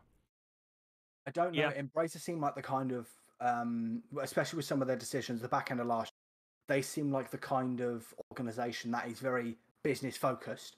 Like, you know, is Marvel's Avengers making money? No, okay, you know, it's we all it's already going to come to an end at some point. Kill it now. Um, you know, with uh, was it Square Enix Montreal with that studio? Oh, you know, they're they're working on they're working on a few things, and you know they've not had a big hit in a while. Kill them off, sack them all. yeah well they changed their name and it was Yeah. like a month later they were like Yeah. You're, we're shutting yeah, you down and you're gonna go move to I, they moved to a different studio or something like they kind of like shuffle them into Yeah, I can't. I can't remember who they who they were sharing them between. yeah Um, but it's it's the team that is Very working weird. with um, Playground to work on the Fable. Oh that's yeah that's i am i can't remember I'm curious here because we know Crystal Dynamics is moving on to the Tomb Raider game, but they're also working on the Yeah. Perfect Dark game. And Hmm. um, w- one of the developers or someone came out a little, little bit ago and said that the Tomb Raider game will come out before Perfect Dark. So I'm wondering what the lineup is and what they're working on here exactly because I I thought that Tomb Raider game was far out. So now I'm wondering how far out is Perfect Dark if that's even further. Um, I think that Perfect Dark probably isn't as far as I think people would think. I mean, we'd probably get it in another, I don't know, maybe next year, maybe 2024, maybe but then like how close is that Tomb Raider 2024. Let me I- try I to don't find think that, that- article. I don't know who that dev is. I don't know if I trust whoever that dev Yeah, is. You I wonder. just if, don't I- trust I, it. wonder if if this is the case. I wonder if the the role that um, Square Enix is having in the Perfect Dark, uh, not Square Enix, sorry, um, Crystal Dynamics. is having in the Perfect Dark game is even less than than the collaboration that was announced um, by Microsoft. It's a case of they're just acting as a support studio I think you know, that's what it with yeah. with you know with the animations, for example, because Crystal Dynamics are known for their brilliant um, motion cap and all that kind of stuff. That's the role they're fulfilling, and then everything else is being done by I can't remember The other, initiative. um, team is. The it, initiative, yeah. Yeah, I think that's what it is. I think they're support for sure. I don't think they're taking full development. Um, I actually think it's the other way around. I think I think Sure. Perfect Dark is going to feel more like a Tomb Raider game than it will anything new. I think I, I think we're going for a third person angle there. I think that's going to be very much a Tomb Mm, Raider game because I think we've heard so many rumors about the initiative, them being such a small studio now uh, that I think they're the support role, and Crystal Dynamics is really taking up Perfect Dark. I mean, David Gallagher, he's from um he's from Crystal. Like he was ahead at Crystal, so like he had that that's the DNA that the initiative kind of has is a Crystal Dynamics DNA. So yeah, it'll probably feel like a a Tomb Raider game, which is awesome. I love that trilogy. So what you mean, Connor, about it being more of a Tomb Raider game because you know with Amazon's games being involved in in the Tomb Raider, I know they're own publishing, but they have the influence. I mean, I won't be convinced until it actually releases that it's not going to be some kind of online in the Amazon games is past. That's a good point. Yeah. Yeah, uh, very interesting stuff going on over there. But uh, yeah, uh, rest in peace, Marvel's Avengers. We uh, we hardly Rip. knew you. Rip to a real one, you know. A real Thank one. God it's gone. Burn in hell, you bastard. All right. Our last news story of the week then. WWE 2K23 will release on PC and consoles on March 17th, 2023. They also went with an interesting choice for this year's cover by deciding not to have anyone on the cover and just having a be a blank box. was Well, Why did you put very- that joke in there? very odd to me. It was just blank, you know. It's just so fucking weird, guys. Like it's just WWE 2K23 the logo, and then just blank image. It was just I don't know. I don't know what they're doing there exactly. Bold take, but uh, we'll see how it works out. I should have checked the, the doc before you did. Eh, you let me sneak that one in there, you know. I did. I let you sneak that. It, it was too easy, you know. I, I I was not proud of myself writing that. I just want you guys to know. You I was shouldn't be just proud of I was just like, this is so easy, but I have to do it. You shouldn't be. It was bad enough they put it in the trailer. Did they? Oh, I didn't watch the trailer. Yeah, that's right. They did Was it just like a guy getting picked up to be slammed with like no one holding him up? No, it was it was like the the first part of the trailer is that a fan comes up to take a picture of, of Bad Bunny and just a floating cat. oh, that's great. Poor John Cena, man. You know, if I ever see that guy in person, I'm gonna just be like, I can't see you. you know, I'm sure he gets that all the must- time yeah, he too. must get that every day.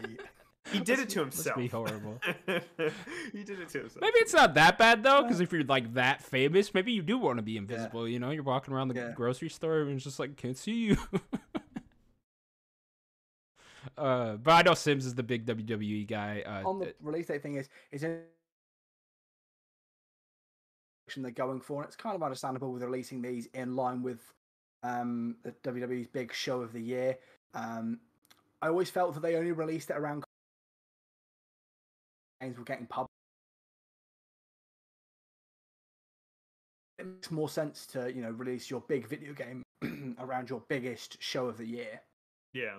What- So let me ask you this, Sam. This is, I guess, a little bit of a tangent. What do you think? Um, the uh, what's the other uh, AEW Fight The Forever? AEW When, when- is that going to come Um, out now? Because that was supposed to be at the end of last year. that was my thought. So I pre-ordered it um, because I was I'm so looking forward to it. I'm a big fan of the company itself, and I was like, oh, you know, I can't wait to play a game a wrestling game that's not by um, a console wrestling game that's not by WWE. Apparently, it's in. There's been reports recently that it's in kind of, it's in a bit of a void um, at the moment. Um, De- December um, this year is now when it's slated to come out. I we will have to wait with bated breath to see if it actually makes that release date or if if they push it again. The thing with the thing with uh, that game is that at the at least with the um the WWE and because they're doing it as an annual franchise, you know, there's not too much. Sure, they're outdated, but they're not as outdated as the Fight Forever game is going to be because apparently it's going to be more of a sort of it's, it's a, apparently it's a weird live service, but it's more focused towards the uh, the single player stuff. So it's a bit of a weird thing there. Um, like there there are people in that reported to be in the Fight Forever game that are no. Now, this has obviously, obviously been a long problem for the WWE. Yeah. What, is is it? What's his name? Is still in it, right? Um. Um, Cody um. No, the other one. uh, Um. CM uh, Punk. is CM Punk. it. Yeah, he's Well, still that- in that- it, right? Yeah, that that's because he's still currently on a contract. Um, and Okay. and all that kind of thing. But you know, there's a with with the nature of the wrestling industry, there's people that could be, you know, there could be a, a decent chunk of that. I think they said it's going to be 50 people at the start, um, which is missing some of their big stars who are in the um on the show at the moment. But it could be a case that a lot of them are gone by the time this fight for eventually ever does. Because Yeah. there's apparently a lot of like Yuke's is apparently struggling a lot with this development. Yeah, I guess it's development struggles, and from what I've what I was uh, seeing is they are also struggling with the ESRB rating. Oh, Um, I, I haven't I heard about that. Yeah, so I think that they are shooting for a T rating, and they I- I don't watch wrestling, but apparently Mm. I guess AEW is kind of known for um a little bit more um I guess bloodier type of Yeah, that- events and stuff, and like uh, ESRB was like, yeah, you gotta this is an M for mature Yeah, and yeah. and they're shooting for a T, so they're gonna have to like Mm. make Yuke's is probably gonna have to like scope back some of that blood maybe mm. in order to hit that. It, it's interesting to hear that because the thing that's always kind of confused me about the the WWE games, the show's been PG for god decade and a half, whatever it's been. Um, but the game has always been over here a 16 certificate game. So I don't know what that is in. That's probably Probably T for teen. and is it teen? I Okay. would say T for teen probably. Um, So it's been a I'd have to 16 rate game up. here. But then, yeah, as you're right, you know, AEW is a is a TV 14 show in the US. Um, which is much more branded itself to be more of an adult audience, aiming for a, a teen teen rating as well. I'd imagine that's just to compete with to kind of I think that's on, what it is. on is. store Yeah, shelves. for sales for sure. Yeah. Would that really affected all that much if it was rated M? Like I feel like uh, Um, wrestling fans wouldn't really care that- all that much. I suppose kids want to buy it and stuff, but Yeah, like yeah, it- it, it's younger like, fans. If you were like 15, you couldn't just walk in and get that game. sure. Right. I mean, I used to get away with that when I was 15 all the time, but like Yeah, I mean, yeah. But if uh, had cool- especially today, though, with most games being bought digitally, you don't even see the rating Yeah. when you're buying it digitally. So it's like I don't. I feel like parents care less today than they Yeah. even did back It- then. it is a bit that is a bit bit peculiar. Yeah, I don't think that's something they need to really be worried about. Like if ES- ESRB rates it M, like I don't, who cares? Like yeah, put it out as M. That that probably you could probably market it more that way. Honestly, yeah, like yeah, yeah. we got more blood than lean WWE. into the blood. Yeah. Yeah, Yeah. like hell yeah, we got the- the blood and TV product alcohol. Already, the TV product already brands itself as more of an edgier product than the competition. So go with that. That for the you know Yeah. much more adult um, product on store shelves. That's you know more suited to because especially they're trying to harken back to a lot of the older like early two thousands wrestling. But like you know this is the kind of wrestling game you remember from a co- edgier company, and that worked from the marketing perspective. Yeah, exactly. I, I'm kind of thinking along the same lines there. All right, guys, that'll do it for the news this week. Busy week, fun week. Mm. We'll now get into what we've been playing. Daniel, you want to kick us off? Sure. Uh, so I finally beat Bloodborne. Um, uh, thank you, thank you. Um, where where I was, like, no, uh, I'm not, no bragging, no bragging. You're gonna brag. thr- I'm gonna brag a bit. there were three fights I had left uh, after the. So I beat the DLC. Uh, that was like going through the DLC and then finishing the game. What a day and night! All of the DLC bosses were so much harder than anything at the end of the game. Like Really? I went, I had three fights after I beat the DLC. Uh, uh, Orphan which is known to be one of From's like I guess one of their harder bosses, and it took me a little bit. It wasn't the hardest fight I think for me personally in the DLC, but um, I beat beat the DLC, then went into I had three more uh, fights after that. Um, I, I beat the next boss in like two tries, and then I go to the final fight. I had to get I wanted to get the true ending of Bloodborne, and you basically have to fight Gehrman, which is like the guy in the wheelchair. He's like the first hunter. And then immediately you fight the um the moon presence and you don't get any rest. Like you just whatever vials you had at the end of that fight, it's immediate.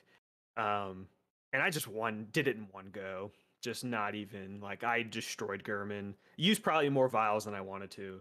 But then I like stun locked the moon presence. I two handed my sword. I put like fire paper on it, and I just kept whacking him, and he just was stun locked, and I, and I beat the game. wow. So I beat, What a I brag. technically beat every boss of Bloodborne except for one, which is at the end of the Chalice dungeons, which I'm not gonna do. I don't feel like doing the Chalice. it's interesting that you say that the, the DLC is harder than the than the main game because I've heard so. Let me preface this: I'm not uh, I've not played any kind of those Souls, and not really my um unless talking about Jedi Fallen or which is like I guess like a Souls type Souls light a light um maybe because it's Star Wars and anyway. Um it's interesting you say that because I've heard that Bloodborne is like the hardest to um to, to beat. And to say that the DLC is even harder than that is like what, what FromSoft's doing were they just, you know chasing and um, Um, bosses with infinite health against you I haven't played them all, and I've beat three basically within this past year: uh, Dark Souls One, Elden Ring, and Bloodborne. Um, out of those three, I would say overall, I would say I probably had a harder time with Dark Souls because of you're a little more limited. But Mhm. at some points, the limit, the limitations also kind of affected everything. So Yeah. at some points, it felt easier. Um, but then it kind of had peaks of really hard. Like there were like a few bosses in Dark Souls that I had uh, a hard time with. Elden Ring, I think overall was kind of like all the bosses were pretty consistently, I would say, challenging. Um, Yeah. There were a few that were more, but um, Bloodborne, uh, th- there were like maybe five bosses. I think overall, it kind of gave me a hard time, but. And like I would say, three of those were in the DLC. if that tells you anything. The, the true Um, question of of a of a um, Souls like is how do the bosses compare to Oggdo Bogdo? Oh yeah, yeah, yeah, yeah. uh, the um, Who? Is Oggdo. the- Who Oggdo Bogdo, the fuck the is that? big, um, in July for the order, the um. Oh, was that the when you- when you frog on- thing? That's a Yeah, frog. yeah, Oh, you yeah, yeah, yeah, I do remember that. It's like you're you're going to uh, take him on like way earlier to get absolutely battered. He's in that Um, little hole. Yeah, Yeah, yeah. yeah, Yeah, he yeah. If you have to like go down in that thing. And yeah. Um. Yeah, Bloodborne's incredible. Mm. I my I wish it was just in 60 frames. I don't know what they're doing over there. Oh, you, you don't need to do. It is not. It's it's only in 30 still. Like I don't know what they're doing over there. You don't need to. I Mm. don't care about 4K. Just pa- like put the game in 60. I mean, That's they did I that need. with the other ones. I know this one's on Sony, but it's like they the FromSoft already did this with all their other Yeah, games. They updated Yeah. them for it just specifically so to Yeah, they did the it frame to rate. Dark Souls 3. Yeah, Um, I think yeah, all their games at this point. Um, yeah, just do it to Bloodborne. It doesn't make any sense. I'm not gonna go back now. I beat the game, but like, um, yeah, Mm. but um, I beat that, and then uh, I put about an hour and a half or so into Persona 3. That was gonna be my next game before um, Hogwarts. Um, uh, I'm really enjoying it so far. Um, it's on Game Pass. Um, it's so the portable version of Persona 3 is more visual novel, and I really wasn't ready for that. I didn't know it was. Okay. So there are no actual regular cutscenes. It's all it, it's told more visual novels. So Yeah, it feels more like a Danganronpa game. Um, but there are like you go into the big dungeony thing, and there is moving around in that. So there is actually like it so like at any point, are you like walking around like going to school and stuff? it's in the dungeon. Yeah. It's in the dungeony thing. Okay. When you're going to school and stuff, no, that is all visual novel. Really interesting. Are there still like choices? Yeah, uh, there is di- you're, you're, you're Dialogue talking. choices, There yeah. is dialogue, Okay. just like a Persona Five. Yeah, yeah, yeah. So you're you're but you're not walking around the school. sure. Um, the only place you are walking is in Tartarus, which is like so do they do that in a more linear way than the school stuff, or is that just not even in this? Um, so you it'll pop out to the you'll see the school and you can click on things. And then like if you want to go to this room, you'll click on it, go to that room, and Oh, you can talk to gotcha, people from there. So like a So- map layout pops up, and then you click on it from there. Okay, cool. Yeah, and then you can talk to characters that way. It, it's still like you're not like uh, dialogue to dialogue to dialogue. Um, you are still selecting a few things. Um, and then you go to Tartarus, and then you are a, kind of a top down, and you're moving your character, um, and you're attacking like these little slug things, and that takes you into the fight. Um, I haven't like fought a boss or anything yet, but um, I'm enjoying it. These characters are interesting so far. Um, the the vibe of the music is is really cool. Um, there is like I could tell that this was made in the 2000s because there is like one of the ambient themes has like a hip hoppy vibe, and I love it. It's it's kind of got because it, it it repeats, so they can't just have like vocals. So it it just has like. Do you- do you, either of you know Del the Funky Homosapien? No, that was a whole lot of words though. No. okay you would you would know dell he is he um he has done stuff with the Gorillaz before Okay. um so if you know like um uh do you know feel good inc the song Yeah, Yeah. yeah, yeah. uh the the the the, the hip-hop guy that's dell the funky homo sapien. Oh, yeah. okay, okay. Oh yeah, yeah, um, yeah. he he's he's done a bunch with with the Gorillaz before um the, the vocals kind of have like a Dell vibe, and uh, Okay. it's, it's it's really cool. It, it has that 2000s hip hop vibe. I like. Mm, mm. Um, and the, yeah, the art style is pretty great. It, it definitely it is a step back from Persona Five that I I, I just beat last year. Um, but I want to experience it, so uh, I'm having a good time with it. When did this game originally release? It's a good question. I mean, You don't know. Persona Four was like 2006, I Eight? think. So this was like Oh, early 2000. Even, even earlier. I yeah. think it was six This or one was seven. on PSP, I think, wasn't it? Persona um three. Uh, Persona Four had, was PSP Gold with the golden uh, version. I think they were both PS2 games. Int- uh, here you go. Uh, Persona 3 originally came out in Japan on July 13th, 2006. Yeah, So actually a lot later than I would have assumed. Yeah, North America not till 2007. So when was so 2007. four? Yeah. four was They must have worked on 4 Yeah. right away then. 4 was 2008. So they, they got Yeah. right on that. yeah. Then Golden was a little bit after that. It was like Yeah, Golden, or well, 11. Golden was a straight up Vita game, right? So that must not have been till Yeah. later. um. Yeah, I I'm having I'm having a great time. Can't wait to get back, but I had to put that on pause because uh Hi-Fi Rush came out and like that game's awesome. I only got to play a little bit. I wanted to play more last night, but I think we can Sloan open was- up here. We all played a little bit Yeah. of this then, right? Yes. Yeah. Okay, yeah. cool. Sloan stopped me. I was like, oh, you want to watch? You want to watch Bullet Train? I'm like, yeah, let's Oh, watch. now Bullet he Train." wants to watch Bullet Train. Wow. I know, right? but uh, I'm enjoying it so far. Like, uh, uh, I kind of you were asking me some questions last night about you know kind of how I was feeling the game, even though I, I only played like a little bit or whatever. And um, the main character Chai, um, he kind of reminds me of a kind of a cheery Peter Parker a little bit. That's kind Yeah. of the vibe I get from One of those But guys, Yeah, yeah, I'll, yeah, I'll give yeah. that. Yeah. He's Yeah, he's um, Marty McFly. You know, Marty all those Mc- guys. yeah. Yeah. you, you could name a- like twenty of them.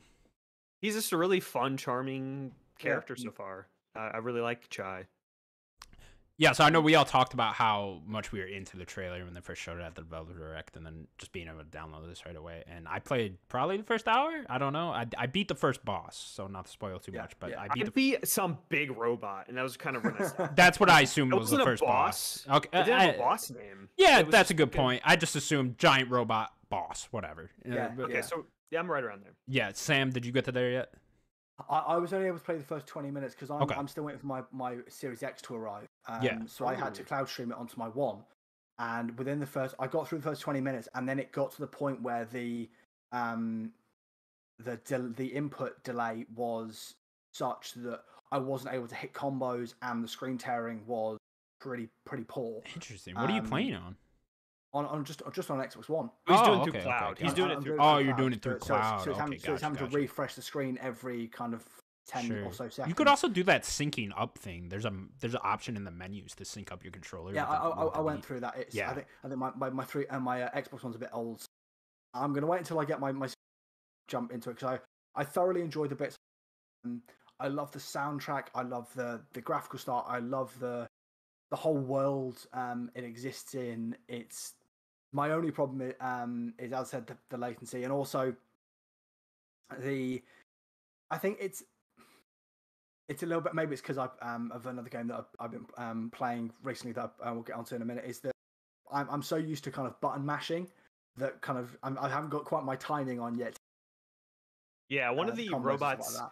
One of the robots. He's like a hint robot. He tells you like if you're doing like the standard X combo, as soon Yeah. as you hit, press it immediate. Because then it, Yeah. you always press every time it hits, uh, unless you're doing like the the heavy hit or whatever. on that too with the combat what i love about this game is that everything around you is on beat so you know exactly Yeah. when to hit because there's so many little things around you, you even you get the little uh, 808 cat he's blinking constantly to show you on beat and then just everything around you in the environment which is so cool is just like everything moving is on beat even the enemies are on beat so you know when they're gonna Mhm. attack and when they're not gonna attack and stuff like that and uh, that's a really cool aspect i haven't really gotten the combat down fully yet like i still i still need to work on my combos and stuff like that like i got the regular x light attack combo down and then the regular heavy attack down i just need to get the ones where you're mixing it in together down more but obviously i just Yeah. need to play a lot more. Mm. but yeah i'm i've been loving this game so far it's so you need- cool If you need help with the beat thing, I forget what button it is. I think it's the back button. There like pops Yeah. up that thing where yeah a uh, meter you can pops up yeah a meter. If you need that, that, yeah, that and might it help. keeps that up constantly. They really want to make it as easy as possible for you to understand the combat and get Yeah, that beat yeah. and get that rhythm down, which is really hmm. cool. But yeah, I've been uh, loving like the the, the cutscenes, the characters are so cool. Just this world seems very cool, very Yeah, yeah. interesting to me. I just love everything about it so far. Hmm. The other thing we should touch on is the soundtrack. The choice of songs is perfect. I love that opening. The opening with the black keys. Let's Yeah. go. That was Let's really go. cool. I, was I, I had the. I had I had the lyrics going in my head. Just go, this is such a perfect opening for this game because we've had titles like this before. What was it? Metal Hellsinger, whatever. it is. Hellsinger, That was yeah. last year. Yeah. that heavy metal um, shooter, and I was like, this is my version of that because it's like because it's like the kind of music I really like. I think the difference there is I think Metal Hellsinger was all original music by famous musicians, and Yeah, then this yeah. is like licensed mu- music that they're Yeah. taking and, and and working it mm-hmm. in. So I guess it's a little different, but it definitely has that beat Yeah, yeah. Aspect. Yeah, Sims brought that up in the chat the uh, yesterday because he was like, oh, "Why are you guys so excited for this game when you couldn't get into Metal Hellsinger?" And I was actually like thinking about that, and I think Metal Hellsinger was just not uh, as accessible with the beat and the rhythm and stuff. They didn't do Yeah, a yeah. good job of tutorial of tutorials and showing you how to get get that rhythm down and stuff like that. Maybe being a first person shooter, I don't know. Maybe I should go back put a little bit more time into that game. But this this version of that is really working for me with the combat and the rhythm and stuff like that. It's also I, I- I've not played the. Um, I always meant to get into um, Hellsinger, but I just kind of n- never did. I wonder if it's the because from the very go of Hi-Fi Rush, the, as you say, the world just gets you into this is how the world works. The beat is constantly in the background, no matter what you're doing. It's um, you know you've got a beat going, and it kind of it works. I think a bit better, and the fact that it, you know it's all you know well-known songs from big artists is potentially a bit more impressive than Hellsinger. Obviously, Hellsinger is a wonderful feat of games development. Um, you know, syncing everything up so well with gameplay, but the, you know, you've got licensed songs that you know, um, Tango Gameworks about to go right. How do we pace this so the songs work so well within the world? Yeah. I love that it's even they they they narratively contextualize that too. Yeah. It's that his his like Zoom It's I'm gonna fucking uh, yeah. old shout out. That's what they should have like used. Zoom. they should have Yeah. used that. Microsoft that would have been Zoom cool. Yeah. gets stuck to his chest. So that is so we're experiencing what Chai is experiencing. So the world isn't beating all the time. Yeah, He's just yeah. experiencing the world beating all the time. So like it's conte- it's like a narrative contextualization of like what he experiences, and I Mm. think that's I think that's pretty cool. Um, yeah, like I, I know that there is a Nine Inch Nails has a few songs in here. Can't wait Mm. to experience Nine Inch Nails in a hack and slash game. Like I'm a Mm. character action person, right? Like they, I love all those games. I think that's why it works for me, Connor, because I like character action games. I love DMC. I love Bayonetta. Um, pretty much all any character action game, yeah, yeah. and uh, this just fits. the The style's great. I love the cutscenes. Like they're so beautiful. One negative I will say, Dana brought this up in our Discord yesterday, but he moves a bit slow, you know, and, and it's Yeah. just I wish it was more uh, fast paced with him, you know, like you kind of want to feel. walk slightly faster. Yeah, That's walk it. slightly faster. Maybe give me a sprint button or something like that. I wish the, Mm, the the dash went a little bit further. You get a dash a little bit later. I'm wondering if there's like upgrades or if you just unlock more stuff as the game progresses to make him move a bit quicker. Because it does feel just like a little bit heavy when you're moving, and that, that I don't like. But everything else about it, I've just been absolutely I think the dash is okay. I think if you could sprint, it would change how you feel. Yeah, you could just sprint and then dash. Yeah. and then yeah, it could yeah. make it go a little further. Yeah.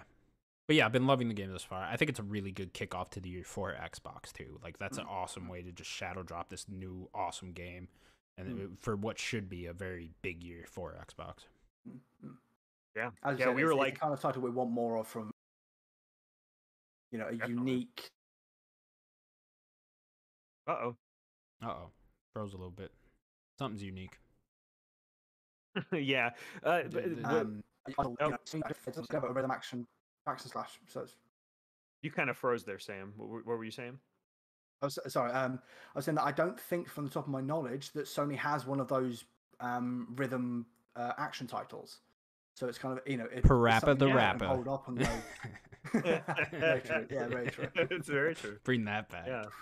Yeah, the crazy thing is, as we've talked about, like Xbox's kind of output for these first six months, like it was going to be those four games, or no, Yeah. I'm sorry, technically five games with Starfield. Like that's a pretty big for six months, and then they're like, we're sneaking in a sixth game, um, that's going to be a first party um uh, game, and then on top of all the uh, third party stuff, it's like that was, and it, and it was a it was a surprise drop. Like it's just like kudos to Tango GameWorks. Like really, like I think they got something special in their hands. I hopefully they don't like. I don't need Tango after this to like lean heavy into Hi-Fi Rush. I don't need Yeah, yeah. the second one in two years. I mean, it'd be nice to I'll- like. I'll, take it.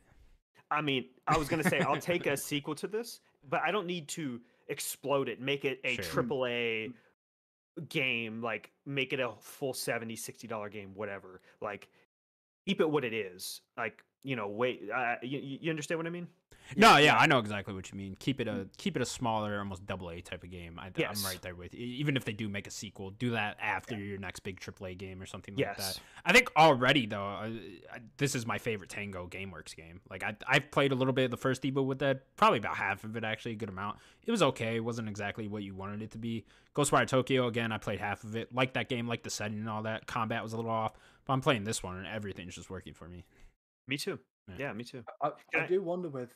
I just want to add one quick thing. Um, it's interesting what you say about the. You know, we don't need to rush into a, a sequel straight away. I agree with that. I I do wonder if there's a putting my business hat on for a second. There's a really big opportunity here for Microsoft and Tango GameWorks if they do kind of what you know what Fortnite, for example, has done and making you know having big artists perform concerts. And, like you know, release a couple of like bonus promotion levels or DLC levels with a specific artist then you know that because you know with the types of songs they got in there, the songs that will would work perfectly with Hi-Fi Rush, and that could be a really cool promotion. You know, um, you know this song as as seen in Hi-Fi Rush, and that then gets out there. That's just thinking with the, with the business. aspect. That's, an a- interesting idea. Yeah, that's a very interesting idea actually. What if you did the sequel like, hey, this band is debuting a new song in the game. Yeah, you know what I mean? Or something like that. That'd be really cool. I just want to shout out to just the uh the, the the versatility of Tango GameWorks now. Now that they've shown they Yeah, they they made a third person horror Resident Evil like game to making a uh, a thriller Ghostwire Tokyo horror ish type of game again. First person shooter. Yeah, yeah, exactly. With first person elements, and then this, which is just completely different than both of those things. It's just uh, that's great, man. That's awesome. That's what you want to see from all these studios. Mm. Definitely. Uh, what, what, what my one thing was, it, it- correct me if I'm wrong. Maybe you guys didn't catch this. I'm not sure. Did I see um, Nakamura in there? Does she work on this game too? Is she still at Tango? I think Oh, so. Yeah. maybe she, thought she might have just had to get credit, right? Because I know she hasn't been at Tango for a while, but maybe she did touch this game before she left, right? I want to look more into it. I thought I saw her name in the in the credits as, as it it's- was it's going. very like, possible, right? I mean, clearly this game's been in development for years, right? So has it? I see. I haven't seen. Have they talked about that? No, I'm just assuming, right? Like it's not like they just made this game overnight. so, No, like, of course, yeah, yeah. Uh, Sam, we'll continue with you. What other games have you been playing? Um. So first, the, the other kind of brawl I want to is one that I I've had games come 2021, and that is Midnight Fight Express. Hmm. Um, so this is a Cool name. A, um, yeah, it's got a really cool name, and it's got a really cool art style. It's a uh, bra- ryth- I was gonna say rhythm action. That's that, that was high rush, um, hi-fi rush.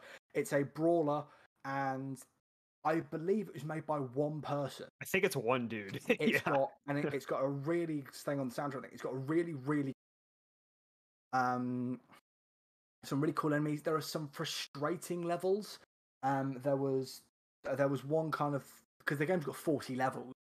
I um I went was replaying it and some of the I think uh, eighth level is you've got to deal with basically you're on the tracks on um, of a rail system and there's two trains whizzing back and forth um, at certain intervals. And there is times where you can just because you're dealing with such a large amount of enemies you get splattered by it. Um, and then there's a, a mission about four or a setting about four missions later where it's set in a um, a dockyard.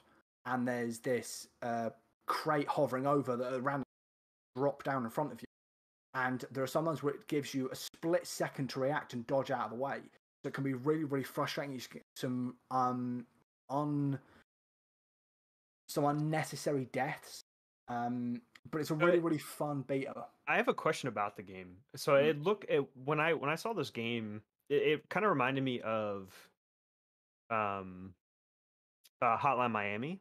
Do you Yeah. die as quick as Hotline Miami? Like Hotline Miami, you have no health. You just you, you no, get hit. No, dead. you've got you've got a bit more um, health than in Hotline Miami. You can take a fair amount of damage, but um, there is like because each uh, enemy has their own special attack, and there are obviously some of the more well, some of the bosses and some of the more um, stronger characters.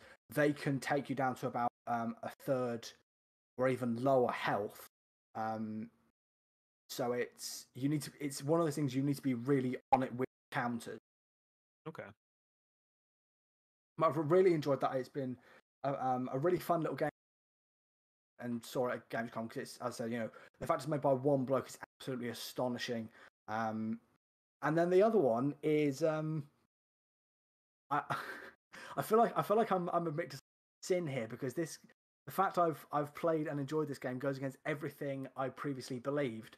Uh-oh. Um, I've really enjoyed playing Marvel Snap. Oh, it's okay, it's okay. fine. I'm a card Uh, game guy. It's fine. It's no, but it's the fact that it's a mobile game with microtransactions, which I used to I used to rile against. I still will because because most mobile games. Um. But now you're just a dirty hypocrite. Look at that. Yeah, I know. I know. It's what have I become? Um. I I was shocked how how good it's how fun it's been. Um. I was initially very turned off by the game because of, of a very very aggressive um marketing plan by the developers um, with I think it was their studio director basically screaming at the top of his lungs about this new game they've had in development. Um, and I was very very hesitant to, try, but I was uh, on the uh, Game Awards um, on a voice call with Tucker, uh, our friend from um, Battle of Banter, and a couple of um, his uh, friends, and we were just chatting about it, and it won Mobile Game of the Year. And I was like, I, I think I mentioned, oh, I've been kind of, and um, I think it might have been one of the other people on the call was like, actually give it a go. It's really, really good. Um, and I've really enjoyed the fact the matches are so quick and the strategies that you know there, there can be such on the fly strategies is actually a, an astonishing bit of game design. I'd never played Hearthstone, but I- I, Hearthstone's can great. See, I can see the the you know this is developer that has clearly mastered making that kind of card game. Yeah, I think my biggest issue with that game is honestly the brevity is great, and I like that they leaned into the brevity and it being very quick matches. Only, Mm. well, I think it's six rounds. I don't like my card games like that. I'm a Magic the Gathering player. I have all my Yeah, yeah. decks right there. You can't really see them. Um, I like the strategy and like I want to be able to. If I can make a deck that's quick, I can make a deck that's quick, or I can make yeah. a deck that is a little slower and combo focused. I like that stuff, which is a little Yeah, bit even. yeah. Hearthstone is kind of in between uh, compared to like Magic and then Snap. Hearthstone's probably you could do quick things, you can kind of combo and be a little slower, but you know you got to keep it a pace with Hearthstone. Yeah, Uh, yeah, I'm yeah. way more slow and deliberate, and I prefer the more customization. There's a little less you could do because there's only uh, I think it's 12 cards in Snap. It's not a lot. You you can't Mm, really uh, try a lot of different things. It's kind of you just got to make a bunch of decks, I guess. Mm, mm. I think I absolutely get what you mean. Um, you know, on my on my PSP Go, which I've got somewhere here, um, I've got the Yu-Gi-Oh! Tag Force Five game, and that is that is like that. It's longer battles and all that kind of thing. And I, I'm I'm in a situation where I enjoy both. I it very much depends on the mood I'm feeling. Um, Yeah. You know, when I just need a quick burst, I can get through um, a, a Marvel Snap game in, in you know a couple of minutes. But when I want something a lot um, longer and more strategic, I can sit down and just you know play on, on my PSP Go and you know properly plan out my my strategies. Um, that being said, I'm also I'm not enthused about you know as much as it does microtransactions better than any other mobile game. I still hate the fact it's got microtransactions. Um, the fact Oh, yeah. that they lock and, and as much as much as it is just cosmetic and the and the card ability same in regard to the variant you get. Um, the fact that there are some really cool um, variants that are locked behind a paywall is absolutely um, awful in, in, in my opinion. I understand obviously they've got to pay their bills somehow and all that kind of thing. Um, Um, what even but- bothers me too is the randomization of the unlocks. Like Yeah. you might have a card that you got really early that like really maybe helped you with like a, a deck that you liked, but I haven't seen that card ever, or, you know, Yeah, whatever. yeah. Or it took forever for me to get that card. It's like yeah, that just makes that just makes our experiences so much different, and like I just don't like that. I, I, it, feels weird to me. that, that's it's a brilliant point because I, I, I in all my online games playing people that had the, the Captain America card, and it took me till um collector level like 240 something to actually unlock that card.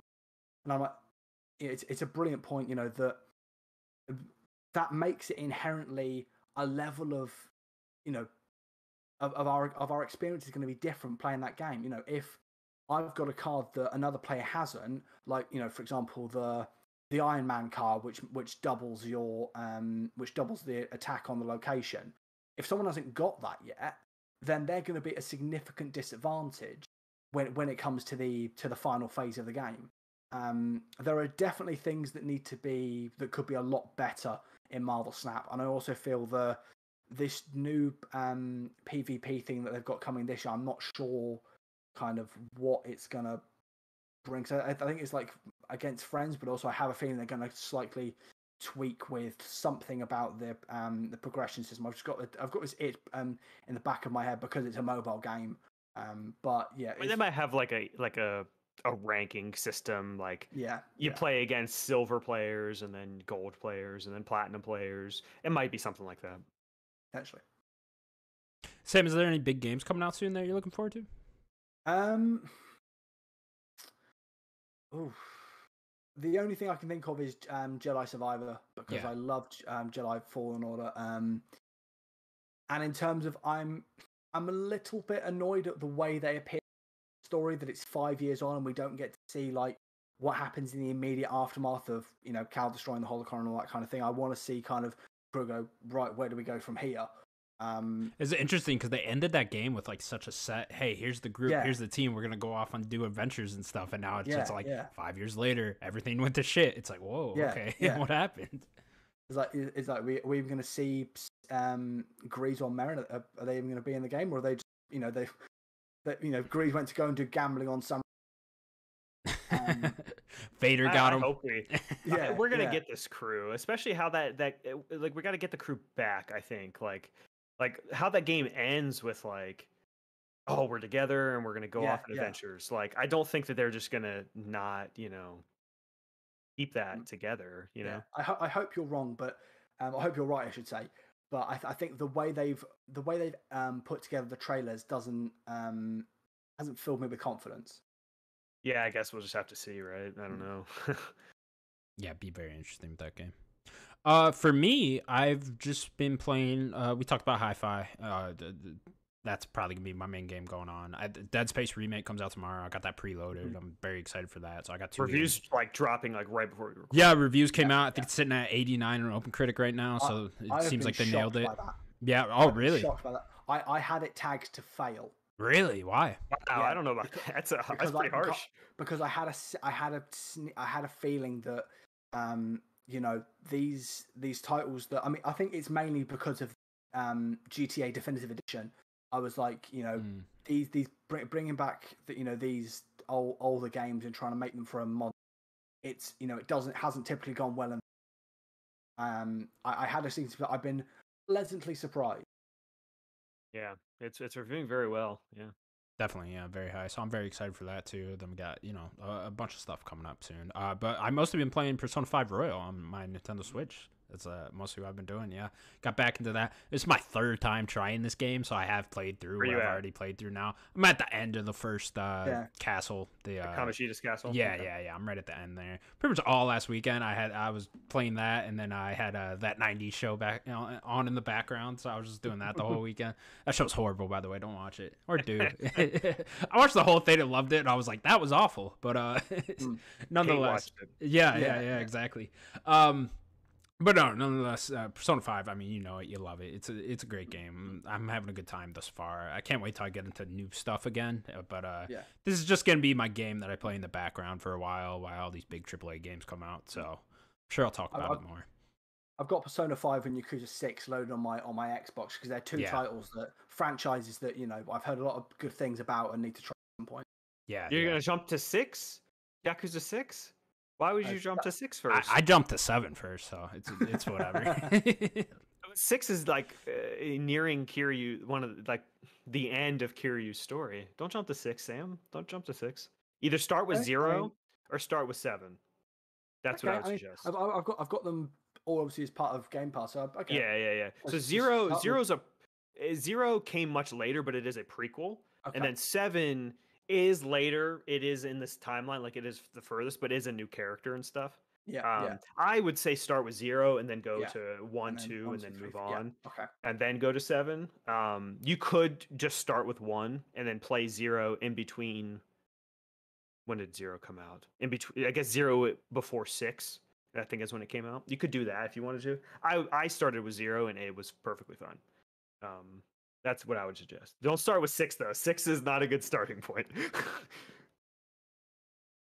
Uh, just touching back on Persona real quick. I just, Yeah. it- is working so much more for me uh, on hand. Maybe not so much more, but like I got burnt out both times I tried it on PlayStation. You know, it's just I got like 30, 40 hours in, and I was just like, every day with this. You know, it's just I think it's gonna really work for me handheld. Just being able to put it down, pick it up, and then have being Mm. able to play other AAA games in the background. I I was think. going uh, say, you, you think it works better in those shorter bursts? yeah, rather yeah, than the- exactly. Just being able to uh, pick it up every weekend, just play it for a Yeah. couple hours, put it back down, and then just do this. It's probably gonna take me like a year to beat, but that's a nonetheless, good year though. yeah, yeah, exactly. It'd be a good year. Then the next year I'll move on to Persona Four or whatever, and uh, yeah, it'll be a good time. Just constantly playing Persona. So I want to say this, Connor. Yeah. You're cha- you're changing. I have got more into turn based. You're changing. since we've done You're this cha- show. you like Yeah, an that- RPGs for sure. More. That's for y- sure. you're becoming JRPGs. I've always been an RPG JRPG, guy. yeah, yeah, You're becoming a weeb more, and it makes me. Eh, yeah, I'm, I'm not watching anime, Daniel. I'm not doing it. You said you said Neil White had a good story. yeah, That's a White did have a very good story. Okay, okay, I'll give you that one. It's this self, a self congratulatory pat on the back from you, Dan, that you, you made a great? Yeah. You've turned me into a weeb. I'm gonna do the just a bit. Naruto run. All right, well, guys, we are out of time here. That's gonna do it for the Nerd Gods podcast, episode 154 or five. I forget which one was 55, selling on. 55. That'll do it. Uh, Sam, do you want to pimp out your stuff more? Sam over at Bloody Brilliant Games. Yeah, so come and check us out um, at Bloody Brilliant Games on YouTube. Of the games using some stories we've talked about today. Um, we also do, as I said, we've got in the pipeline coming up um, ev- uh, event coverage and also potentially reviews depending on our schedule. You also check out on Twitter at Bloody Brill Games uh, for updates on the content and also um, me pimping out uh, the link to uh, every week's video just to try and get the numbers up. Yeah, yeah, yeah, yeah. Awesome. Um, I I do want to say right real quick right before we Yeah. go. Uh, next week is our three year anniversary of the show. Is it really? Oh, Right, Yeah, I didn't know three years. didn't know that. Will be next year. Next week. Damn, three years. I've known you that long. I gotta get rid of you at some point. Actually, it's been longer than three years. oh my god! Oh, no. Someone kill me, please. Put me out of my misery. but no, please go check out Sam over at Bloody Brilliant Games. Thank you so much for coming on, Sam. You're welcome back Yeah. anytime. Thank you, Vince. It's an absolute pleasure. All right, cool, awesome, guys. See you later. Bye, everybody. Bye.